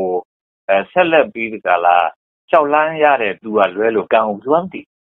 ဟုတ်ကဲ့နော်ဒီမှာအဲဗုဒ္ဓရဲ့ပြောချက်ကိုဆက်လက်ပြီးထုတ်ကြိုင်ပြီးတော့ရှောက်လန်းရှောက်လန်းရနေပြီးတော့ကျွတ်တို့ကံသိတာဒီမှာကျုပ်ကလည်းပြောတယ်အေးငါရဲ့ပြောဆိုချက်နဲ့လွဲပြီးတော့ဘယ်သူမှကံမသိဘူးပါဒီမှာဗျာဟောကျုပ်ကဒီလိုမြင်တာပေါ့နော်ဒီမှာဗျာအရိယာဖြစ်တယ်ဆိုတာငါအရိယာဖြစ်တယ်ဒီမှာဒါကိုယ့်ကိုယ်ကိုအထင်ကြီးပြီးပြောလိုက်တာလည်းမဟုတ်ဘူးမှန်အဲနောက်သူတယောက်အရိယာဖြစ်ဖို့ဆိုတာငါမှပြကြရင်မဖြစ်ဘူးကွာဒီမှာဗျာ ကျုပ်ကပြင်အဲ့လိုကိုပြောတယ်ဘာလို့လဲဆိုတော့သူဘယ်လိုမှဒီသူတို့ရဲ့အမိုက်တိုက်ကနေပြီးတော့ထွက်တတ်ဘူးဒီမှာဗျာအဲကျုပ်ပြောတဲ့စကားကိုအခုနောက်ဆုံးပဲရေးထားတဲ့စာအုပ်ကလေးဆိုလို့ရှင်တော့အတိအကျအဲ့ဒီအပိုင်းဆရာတွေကိုဒါတော်တော်များများညွှန်ပြထားပါတယ်ဗျာနော်ဒီမှာဗျာစကားအလုံးပေါင်းကိုဘယ်နဲ့ထောင်ကြည့်ရတယ်လဲ6000ကျော်တယ်အဲ6000ကျော်တယ်တဲ့ဒါစကားအလုံးပေါင်းပေါ့နော်ဒီမှာဗျာစကားလုံးပေါင်း6000ကျော်တာမှာတစ်လုံးမှပဲဆရာမရှိဘူးဒီမှာဗျာ။ ဒါကတော့ကြားဘူးပြီးသားဟောကလကားပါပဲလို့ပဲဆရာမရှိဘူးဒီမှာဗျာ။တစ်ခုတိုင်းတစ်ခုတိုင်းဟာကိုမကြားဘူးသေးတာကြီးဖြစ်တာကိုတွေ့ရလိမ့်မယ်လို့သူတို့ပြောအောင်ဟောဒီနော်မှာဗျာ။အဲ့တော့အဲ့လောက်ကိုကြုံလည်းပဲတော်တော်ကုန်းကုန်းဆုံးဆုံးသိစေတော့ဆိုပြီးတော့ဒါပြောတာပေါ့ဗျာနော်ဒီမှာဒီမှာ။အဲ့တော့ပြောမယ်ဆိုရင်ဘုရားလွယ်ဘုရားစီကရတဲ့သူကလွဲလို့ဘုရားဖြစ်တယ်လို့မရှိဘူးဒီမှာဟုတ်ကဲ့နော်တခါရကြရတာကတော့ကျုပ်ဖြစ်တမဗျာ ဘယ်ကြောညံကောင်းတယ်လည်းမဟုတ်ဘူးဝိရိယကောင်းတယ်လည်းမဟုတ်ဘူးဟုတ်နော်တမဗျာပြောမစင်တော့တကယ်ကိုကိုကျိုးသားပန်းသားလုပ်တဲ့သူလည်းမဟုတ်ဘူးဗျဟုတ်နော်တမဗျာအဲတကယ်ကိုအသိဉာဏ်တွေကလည်းထက်ထက်မြက်မြက်နဲ့လှက်ကနေလက်ကနေနဲ့သိတတ်တဲ့သူလည်းမဟုတ်ဘူးဟုတ်နော်တမအဲ့လိုပဲရိုးရိုးရှောင်းရင်းရှောင်းရင်းနဲ့ဘုရားကြီးရောက်တာဆိုတော့အဲဘုရားပေးတဲ့အသိဉာဏ်ငါတော့ရပြီအဲငါလိုပမှန်လျှောက်ဖို့လိုရဟာလို့တ ကယ်တော့ငါတဲ့ညံ့တဲ့လူကလည်းညံ့မတရားညံ့ငါတဲ့ตาတဲ့လူကလည်းသားမတရားကိုသားနေကြတာလို့သူတို့လည်းကြောသွားတော့ကြတာလို့ဟောအဲ့လိုဆိုတော့ငါလောက်ဒီအလေလက်ဖြစ်နေဟောဒီဒီလောက်ကိုတကယ်ကိုဒီဘဝအတွက်ပဲကျင့်တယ်လို့ဆိုတဲ့သူကတော့မရှိတာဟောအဲ့လိုဆိုတော့လည်းပဲအရိယတရားကငါလွဲလို့မသိဘူးတ မခုသိနေမှရှိဘူးပေါ့ဗျာတမမသိနိုင်ဘူးလို့ပြောရတော့မဟုတ်ဘူးကျို့လိုပဲလေးလာရင်လည်းတချို့လည်းသိရင်သိမှာပေါ့နော်တမဗျာမသိနိုင်တာတော့မဟုတ်ဘူးကိုတော့သိနိုင်သေးတာဆိုတော့သူတို့လည်းသိနိုင်တာပေါ့နော်တမဒါလျှောက်ချက်တာမှန်သွားရင်ဒီအရိယာဖြစ်ကိုရောက်သွားမှာပေါ့ဟုတ်ပြီဒီအရိယာကိုမိကိုရတဲ့သူမဟုတ်ဘဲနဲ့ကျုပ်ရဲ့အဆက်နဲ့မရဘဲနဲ့ပေါ့နော်တမဘယ်သူမှအရိယာဖြစ်ဘူးတမဗျာ ကျုပ်တွေအဲ့လိုကိုယုံကြည်တယ်ပေါ့ဗျာတော့တမအဲအကြောင်းမို့လို့ကိုယ့်ကိုဘယ်တော့မှမတိတ်ခေါ်ဘူးလို့အဲ့လိုပြောသိကြပါလေဗျာဟာဟောဒီလိုတွေမြည်ပြီးပါလေဟုတ်တယ်ဗျာအဲ့တော့ပြောမစင်တော့အရိယတရားကိုရမှအရိယတရားပေးနိုင်တာဗျာနော်တမအရိယတရားမရဘဲနဲ့တော့လေသူများကိုဘယ်လိုလုပ်အရိယတရားပေးနိုင်မှာလို့နော်တမဗျာမပေးနိုင်ဘူးအဲ့တော့ဘုရားလည်းပြောတယ်လေအရိယမဂ်ကြီးရှိချက်ရှိနေတဲ့၍ဖြစ်ရတော့ဒါအရန္တတွေဟာ အစိတ်သုံးပါဘူးလို့သူပြောတာပေါ့နော်တမဗျာသူမရှိရှိရှိရှိဟုတ်တော့လားတမနော်ဗျာသူတစ်ပည့်တွေရှိရှိမရှိရှိဟောဒီအရိယအာဒီအရိယမက်တရားပေါ့ဗျာတော့ဒါသာထွန်းကားနေလို့ရှိရင်ကတော့အဲဒီအရဟန္တတွေလည်းပဲထွန်းကားနေမှာပါလို့ဟုတ်တော့အဲ့တော့နာကတ်ကတော့ထွန်းကားမှာလို့ဆိုတော့ပြုတ်မြင်ရတယ်ပေါ့ဗျာတော့အဲ့တော့ဆိုလိုတာကတော့ဒီအရိယမက်ဆိုတဲ့ဟာကြီးဟာ တို့ဆိုတော့လူမသိရင်တော့ဘယ်သိပါတော့အဲလူမသိဘူးလို့ဆိုတာလူကကိုကလာတယ်လို့ကျွန်တော်သိလိုက်ပြီဆိုတော့လူတိကလွဲသွားတယ်တမဗျာဟုတ်တော့တမအဲကျွတ်တို့အမေကမွေးမပေးခင်ကတည်းကကျွတ်တို့ကရှိတယ်ပေါ့နော်တမဒါမေးတယ်လေသားတက်လာကြီးတယ်ဆိုတာမျိုးလို့ပေါ့ဗျာနော်တမကျွတ်တို့အမေမမွေးခင်ကတည်းကဟိုဘက်ဘွားလည်းကျွတ်ကရှိခဲ့တာဟိုဘက်ဘွားသေးပြီးနောက်ပိုင်းကျမှအမေဝါနဲ့ကျွတ်ကဝင်လာတာအဲ့တော့အမေကမမွေးခင်ကတည်းကကျွတ်ကရှိနေတာဆိုတော့အ မေတက်က90ရှိနေပြီဆိုရင်ကျွတ်တက်ကဟိုဘက်ဘွား20ပဲ90ကတော့မှာတော့တမအမေလည်းကွက်ကြီးတာပေါ့နော်ဖေလည်းကွက်ကြီးတာပေါ့နော်တမဗျာကဲအဲ့လိုဖြစ်နေပြီဆိုတော့ကျွတ်တို့ကအလွဲချော်ကြီးကိုတလွဲတစ်ချော်လွဲချော်နေပြီပြောကြဆိုတော့တမကျုပ်တို့ကိုကျုပ်တို့လူဖြစ်ကိုမသိတော့တမဗျာမရှိရအနေလာလိုက်ပြီတမအဲကျုပ်တို့ကနေပြီးအကြောင်းလဲဆိုတာနေပြီဆိုရင်မရှိရဘူးကျုပ်တို့တောင်းပါတမဗျာ အဲလူသိမှန်လို့လားဗျာ တမ တော့ ဗျာ အဲအဲ့လိုမမှန်တော့ဘူးလို့ဆိုရင်လူမှမသိဘူးလို့ဆိုရင်ကတော့ဒီလူရဲ့ဒုက္ခလည်းမသိတော့ဘူးဒီလူရဲ့ဒုက္ခဖြစ်ကြောင်းသမှုတရားဖြစ်တဲ့ဒီအပြောပြုအနေတွေမှန်တာဟောလည်းပဲ तू မသိတော့ဘူး တမဗျာ အဲဒီလူရဲ့និရောဓလို့ဆိုတဲ့ဒုက္ခတွေငြိမ်းတာလည်း तू မသိနိုင်ဘူး တမ ဒီလူရဲ့ဒုက္ခငြိမ်းချောင်းဖြစ်တဲ့အပြောပြုနေတွေမှန်တာလည်းပဲသူမသိနိုင်ဘူး။ဒါဒီချက်ကလေး၄ချက်ကိုဒါလူရဲ့အမှုတွေပေါ့လား တမဗျာ ။ ဒါပြောလို့ဆိုရင်တော့အဲမဟုတ်တာတွေကိုပြောတယ်ပြုတယ်နေတယ်ဆိုတာလည်းလူအမှု။အဲ့တိုင်းပဲဒုက္ခဒုက္ခတွေဖြစ်နေတယ်ဆိုတာလည်းလူအမှု။ဟုတ်တော့လားနော်တမ။အဲ့လိုပဲဟုတ်တာတွေကိုပြောတာပြုတာနေတာလုပ်တယ်ဆိုတာလည်းလူအမှု။အဲအဲ့လိုဖြစ်တဲ့အတွက်ဒုက္ခတွေငြိမ်းနေတယ်ဆိုတာလည်းလူအမှု။လူမှု၄ချက်ပဲမဟုတ်လားတမဗျာ။လူအမှု၄ချက်ကလူမရှိဘဲနဲ့လူအမှုကရှိနိုင်ပါမလားမရှိဗျာ။နိုင်ဘူးဗျာကဲလူမသိလို့ရှိရင်ဒီအမှုသိလို့ရပါဘူးလားမရဘူးဗျာဒီအမှုမှန်ကိုသိလို့မရဘူးတမဗျာအဲ့လိုသိလို့မရတော့ လူကလည်းပဲသိဖို့ရံကတော့တော့ခဲနေတာပေါ့နော်ဘာလို့ဆိုတော့ကို့အမေမမွေးခင်ကို့ရှိပကလေးနေရာကျွတ်တော့ရှိနေတာလို့ဆိုတဲ့အခါကျတော့ကျွတ်တို့လူအတိအဖောက်ပြန်တယ်တမအဲ့လိုဆိုကျွတ်တို့ကတရားတည်ပြီးနောက်လည်းပဲအဆုံးအသတ်မရှိကျွတ်တို့ကလူဖြစ်နေဦးမှာလို့ဆိုတဲ့အခါကျတော့လည်းနော်တမဗျာဒါကြီးကလူအတိအဖောက်ပြန်နေတဲ့အခါကျတော့ဒီလူကိုမသိတော့ဘူးဒီလူမသိတော့တဲ့အခါကျတော့အဲ့ဒီဒီလူရဲ့အမှုလည်းမသိတော့ဘူးပေါ့နော် ကဲဒီလူကလည်းပဲကဲသူ့လူဖြစ်လာပြီသူ့အမေနဲ့သူနဲ့လည်းပေါင်းနေရတယ်သူ့အဖေနဲ့သူနဲ့လည်းပေါင်းနေရတယ်သူ့မွေးချင်းသားချင်းတွေနဲ့သူနဲ့လည်းပေါင်းနေရတယ်သူ့မိတ်ဆွေတင်ကားတွေနဲ့သူနဲ့လည်းပေါင်းနေရတယ်သူ့အလုံးလုံးပဲဟာတွေနဲ့ဒါအလုပ်ရှင်နေတယ်လည်းပေါင်းနေရတယ်ဟုတ်လားနော်တမန်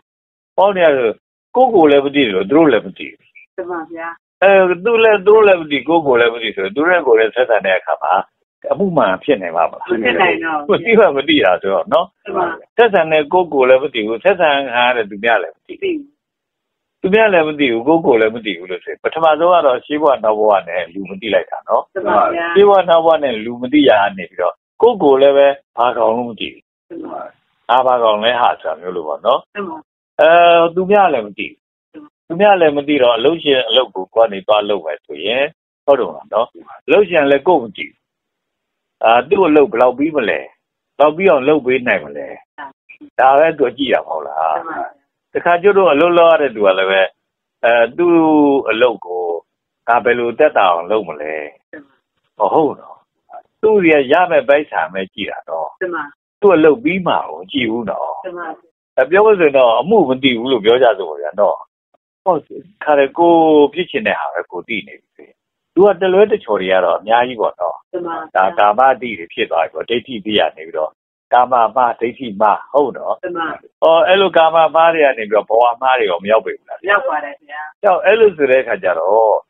ဒီလူတယောက်နဲ့တယောက်ရဲ့ချိတ်ဆက်တာတွေပေါင်းတင်တာတွေဘယ်လိုလုပ်သိတော့မှာတမန်ဟုတ်ပါနော်တမန်အဲ့လိုမသိတော့ဘူးလို့ဆိုရင်တော့ဗျာမတာပေါ့နော်တမန်အဲ့လိုပဲကိုယ်လှုပ်ရှင်ကိုလည်းကိုကနေပြီးတော့ဟိုဖြတ်လက်ဖြန့်တန်းညာစား ဟုတ်လို့လားတော့တမန်လှုပ်ရှင်ကလည်းပဲအာသူ့ဘယ်လိုခံရခံရမခံရမခံရအတိတ်ကငါအလုပ်တွေငါပြီးတီးရပဲပေါ့လားကိုယ့်ဘက်ပဲကိုကြည့်ကြတော့တာမဟုတ်လားဗျာတနော်မန်အတ္တပေါ့ဗျာနော်တမန်ဟောအဲ့လိုဖြစ်ပြီးနေကြပြီလို့ဆိုကြတဲ့ကဒီသူတွေကဘယ်လိုလုပ်ပြီးတော့မှန်တဲ့အမှုဆိုတာလုပ်နိုင်ပါတော့မလုံးနိုင်မှန်တဲ့အမှုဆိုတာဘာနဲ့တိုင်းထွာမလဲဆိုကိုယ်နဲ့တိုင်းထွာမှာလို့သူကဒီလိုပြောမှာပါနော်တမန်ကိုယ်နဲ့တိုင်းထွာပြီးဆိုကြတဲ့ကဟောကိုလောက်တာဆိုရင်မမမမမှန် သူလောက်တာဆိုရင်တော့မမမမသူ့လောက်ဆိုရင်တော့မဟောဒီလိုဖြစ်တော့မှာမဟုတ်လားဗျာတမန်အဲ့လိုဖြစ်တဲ့အတွက်ဒီသူတွေဟာဘယ်လိုလုပ်ပြီးတော့ဒီဒုက္ခကိုဖြစ်စေတဲ့အပြောပြုအနေတွေကလွတ်အောင်လုပ်နိုင်ပါမလဲတမန်ဒုက္ခကိုဖြစ်စေတဲ့အပြောပြုနေတွေကိုပြောရတော့မှာပဲပြုရတော့မှာပဲနေရတော့မှာပဲဟုတ်ပြီနော်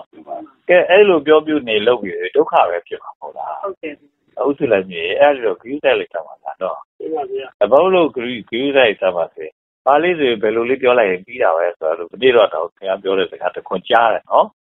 ဘာမှမသိပါဘူးဒါအဲ့ဒါလေးကတော့နော်စိတ်မမသားသားတော့မဟုတ်ဘူးဥစ္စာလည်းမြေအဲ့ဒီဘက်ကိုပါနေတာဗျာနော်အဲ့လိုဆိုတော့အဲဒီဟာဘယ်ကနေစခဲ့တာတော့မေးရင်ကိုယ့်ရဲ့နောက်ဘဝအတိတွေကနေစခဲ့တာဗျာနော်တမန်ဗျာနောက်ဘဝအတိတွေကနေပြီးဒီကလာဒါဒီလေသွားပြီးရောအဲ အဲ့လိုပြောလိုက်လဲပြီးတာပဲဆိုတာမျိုးလေးနဲ့ပေါ့နော်အဲ့လိုမလုပ်ပါနဲ့အမှန်တိုင်းပဲပြောပြောတာတာဝိဒတွေပြောတာသိဘူးရရတော့ဟုတ်ပြီဟိုဟုတ်ပြီမှာတော့သေးကြီးဆရာလေးပြောတဲ့ကိစ္စကိုအဲဟုဟိုတ်လေးပြောလိုက်ရင်ပြီးသွားမှာပါအဲဟုတ်တယ်ဟုတ်တယ်ပြောနေမဟုတ်လို့ရှင်ကတော့နော်ဒီမှာအဲဆိုလိုတာကတော့ဟုတ်တဲ့အတိုင်းသာပြောလိုက်ပါပြောတဲ့အတွက် तू မခံနိုင်ရင်လည်းပေတတ်နေပါလေတဲ့ပေါ့နော်ခံကျင်စရာဖြစ်အောင်ကတော့ကိုကတော့ပြောမှာပေါ့လေဒါဒီမှာအဲ့လိုပေါ့ဗျာဆိုလိုတာကတော့ဒါနည်းနည်းပေါ်လို့ပြောတာပါနော် အပြစ်တင်တာမဟုတ်ဘူးနော်ဒီမှာဗျာအဲဥပ္ပလိုက်ပြန်နော်အဲဆိုလိုတာကတော့ဖြင့်ကျုပ်တို့တွေဟာဒီအတ္တမားတွေကာမမားတွေဟုတ်နော်တမန်ဗျာမှားကြတာကတော့အများကြီးအဲ့လိုမှားပြီဆိုရင်တော့အမားတွေကတော့အမှားမှန်သမျှလည်းပဲဒုက္ခလောင်းနေရတယ်ကြီးတယ်ပဲ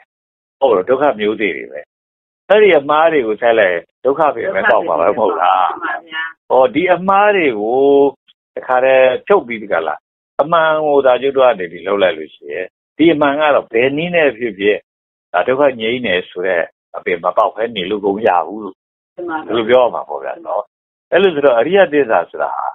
အဲသစ္စာတွေမသိတယ်လို့မဖြစ်ဘူးဟာ။အဲ့ဒီသစ္စာရဲ့တရားဖြစ်တဲ့လူလည်းဒီဥပ္ပါဖြစ်မှာပေါ့နော်။ကဲလူဘောမှာအမြင်မှားလိုက်တော့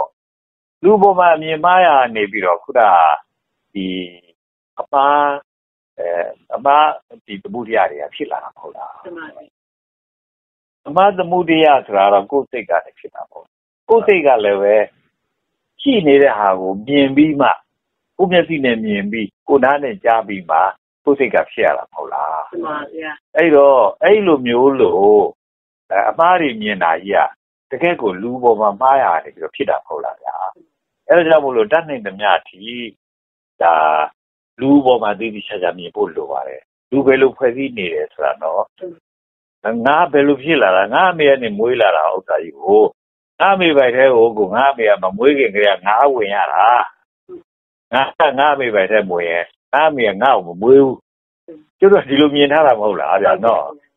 အဲလို့ဆိုတဲ့ခါကျဘယ်ဘယ်တော့ဘယ်သူသိလို့ဘယ်တော့သိလို့လဲနော်ဘယ်လိုဝင်တာတော့ဘယ်လိုလာတာတော့ဘူးမှမပြောတာဘူးနော်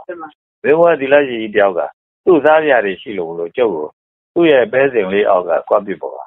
စားရကျွေးတယ်ဗျပြီးတော့ဩလက်ရှိဆရာကြီးဗျဘယ်ဘယ်ကြောင်ဆရာကြီး၄ယောက်ရှိတာသူမြောက်ဆရာကြီးလို့ခေါ်တဲ့ဆရာကြီးပေါ့အဲအဲ့လိုကနေပြီးတော့သူလည်းပဲဘိုးဘုဆရာတော်တရားကိုတားထုတ်တာဘိုးဆရာတော်သေဘကိုပြန်လာအဲ့ဒီကြောင်းပေါ့လေအဲ့တော့လေသူကအဲရှေးဘဝနောက်ဘဝနဲ့ဆက်လဲပြီးတကလား အဲဆရာကြီးရှေးဘဝကနေပြီးတော့ဒီဘဝလာတယ်ဆိုတာဘာနဲ့လာတော့အဲ့လိုပဲသူဝိညာဉ်လာတာပေါ့ဝိညာဉ်လာတယ်ဆိုတာရန်ကုန်မှာသိပြီးမန္တလေးမှာဝင်သားတယ်ဆိုရင်အဲ့ဒီဝိညာဉ်ကကောင်းကင်ကနေလာတာလားရေချောင်းကနေလာတာလားကုန်းချောင်းကနေလာတာလားတခုတော့လာစရာလမ်းကတော့ရှိရမှာဗျာလို့ဘာနဲ့လာတော့မပြောတာဘူးဗျာတော့အဲ့တော့ဆိုလိုတာကတော့ကဲ ရန်ကုန်ကတည်းကဒီမျိုးစေ့ကိုယူလာခဲ့ပြီးတော့မန္တလေးမှာစိုက်မန္တလေးမှာအဲ့ဒီတည်းပဲပေါက်တယ်ဗျာလို့အဲ့ဒီတည်းပဲရန်ကုန်မျိုးဖြစ်တဲ့အတိုင်းပဲရန်ကုန်ပင်နဲ့တူရဲလို့တူရဲဆိုရင်တော့ရန်ကုန်ပင်နဲ့တူတဲ့အပင်ဒီမှာပေါက်လာဖို့ရအတွက်အဲ့ဒီမျိုးစေ့ဟာလို့လားတယ်လို့ရန်ကုန်ကနေပြီးတော့ယထာနဲ့သဲလာသလားဓာတ်နဲ့သဲလာသလားသင်္ဘောနဲ့သဲလာသလားလေပြန်နဲ့သဲလာသလား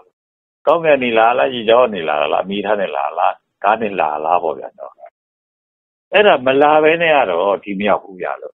ပြီးတော့လာတယ်ဆိုရင်လည်းအခြေကရှိနေတယ်ဗျာလို့ကားနဲ့လာရင်ကားနဲ့လာရတာရဲ့အခြေရထားနဲ့လာရင်ရထားနဲ့လာရတာရဲ့အေးသင်္ဘောနဲ့လာရင်တော့အကြဆုံးပေါ့ဗျာလို့ဒါလေးကရှိရဆယ်လောက်လာယူရမှာပေါ့လို့အဲလေရင်နဲ့လာပြီဆိုရင်တော့နိုင်ပိုက်အတွင်းရောက်လာမှာပေါ့လို့လာတယ်ဆိုလို့ရှိရင်လာတဲ့အချိန်ရှိရမယ်လာတယ်ဆိုရင်လာတဲ့နေရာလည်းရှိရမယ် အဲလာတဲ့အရာလည်းရှိရမယ်လာတဲ့နေရာလည်းရှိရမယ်လာတဲ့အချိန်လည်းရှိရမယ်တော့ခင်ဗျားတို့အဲ့ဒါဘာလို့မပြနိုင်ပဲဒါကြောင့်ကြောင့်အဲ့ဒီကလာတယ်လို့ထားတာလေပေါ့ဩတော်လေအဲ့လိုပြောရတာပေါ့ဗျာပြောတယ်ရတော်လည်းစိတ်ပြတ်တာပေါ့လေအတော်ကြောင့်ဘုန်းကြီးကလေးဆိုပြီးသူသားကြလေးတော့ကောင်းလေးနဲ့ကျုပ်ကိုပူတော်တာပေါ့ဗျာပူတော်ဘယ်လိုလဲအဲ့ပူတော်တာတော့မားတယ်ဆိုတော့တော့မလားမသိဘူးဒါသူလည်းဒါအဲပြစ်ပါပဲအဲအမှန်တော့သူမှမမိနိုင်တာဟုတ်ဗျာတော့ အဲ့တော့အဲ့လိုမျိုးလို့မသိဘဲနဲ့လာတယ်လို့မလုပ်သမ်းမှနဲ့ပေါ့အဲလာတယ်လို့မလုပ်ဘယ်နဲ့လုပ်မှာတော့ဖရားတဲ့ဒီမှာတခါဘယ်နဲ့လုပ်မွေးလာမှာတော့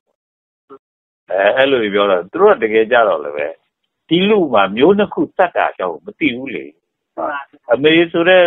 သူရဲ့အမမျိုးစီကိုအဖေဆိုတဲ့အဖိုမျိုးနဲ့နှစ်ခုတတ်ရောသွားဖို့ကိုနည်းနည်းကလေးမှဘုဒ္ဓတာမရှိဘူးမဟုတ်လားဘုဒ္ဓတာမရှိတော့ ခုနအဖမျိုးစေ့ထဲမှာလည်းခရိုမိုတုံးသုံး24ချောင်းပါတယ်အမမျိုးဥထဲမှာလည်းပဲခရိုမိုဆုံး24ချောင်းပါတယ်သူတို့နှစ်ခုပေါင်းလိုက်ပြီဆိုရင်အမမျိုးဥရဲ့တစ်နံပါတ်ခရိုမိုဆုံးနဲ့အဖိုမျိုးဥရဲ့တစ်နံပါတ်ခရိုမိုဆုံးတော့ချက်အဲနှစ်နံပါတ်ခရိုမိုဆုံးချင်းနှစ်နံပါတ်ခရိုမိုဆုံးချက်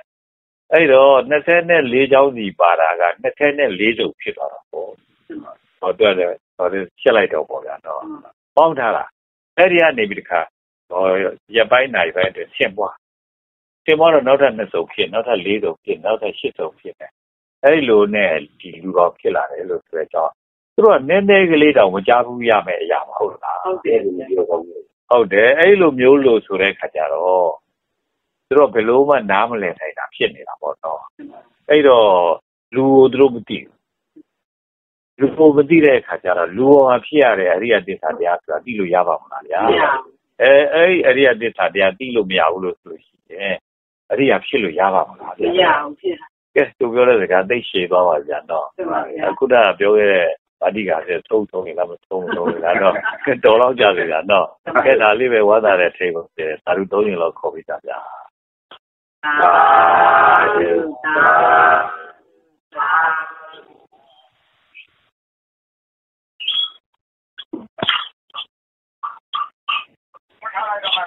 ဟုတ်ကဲ့ပါချလို့ရပါပြီ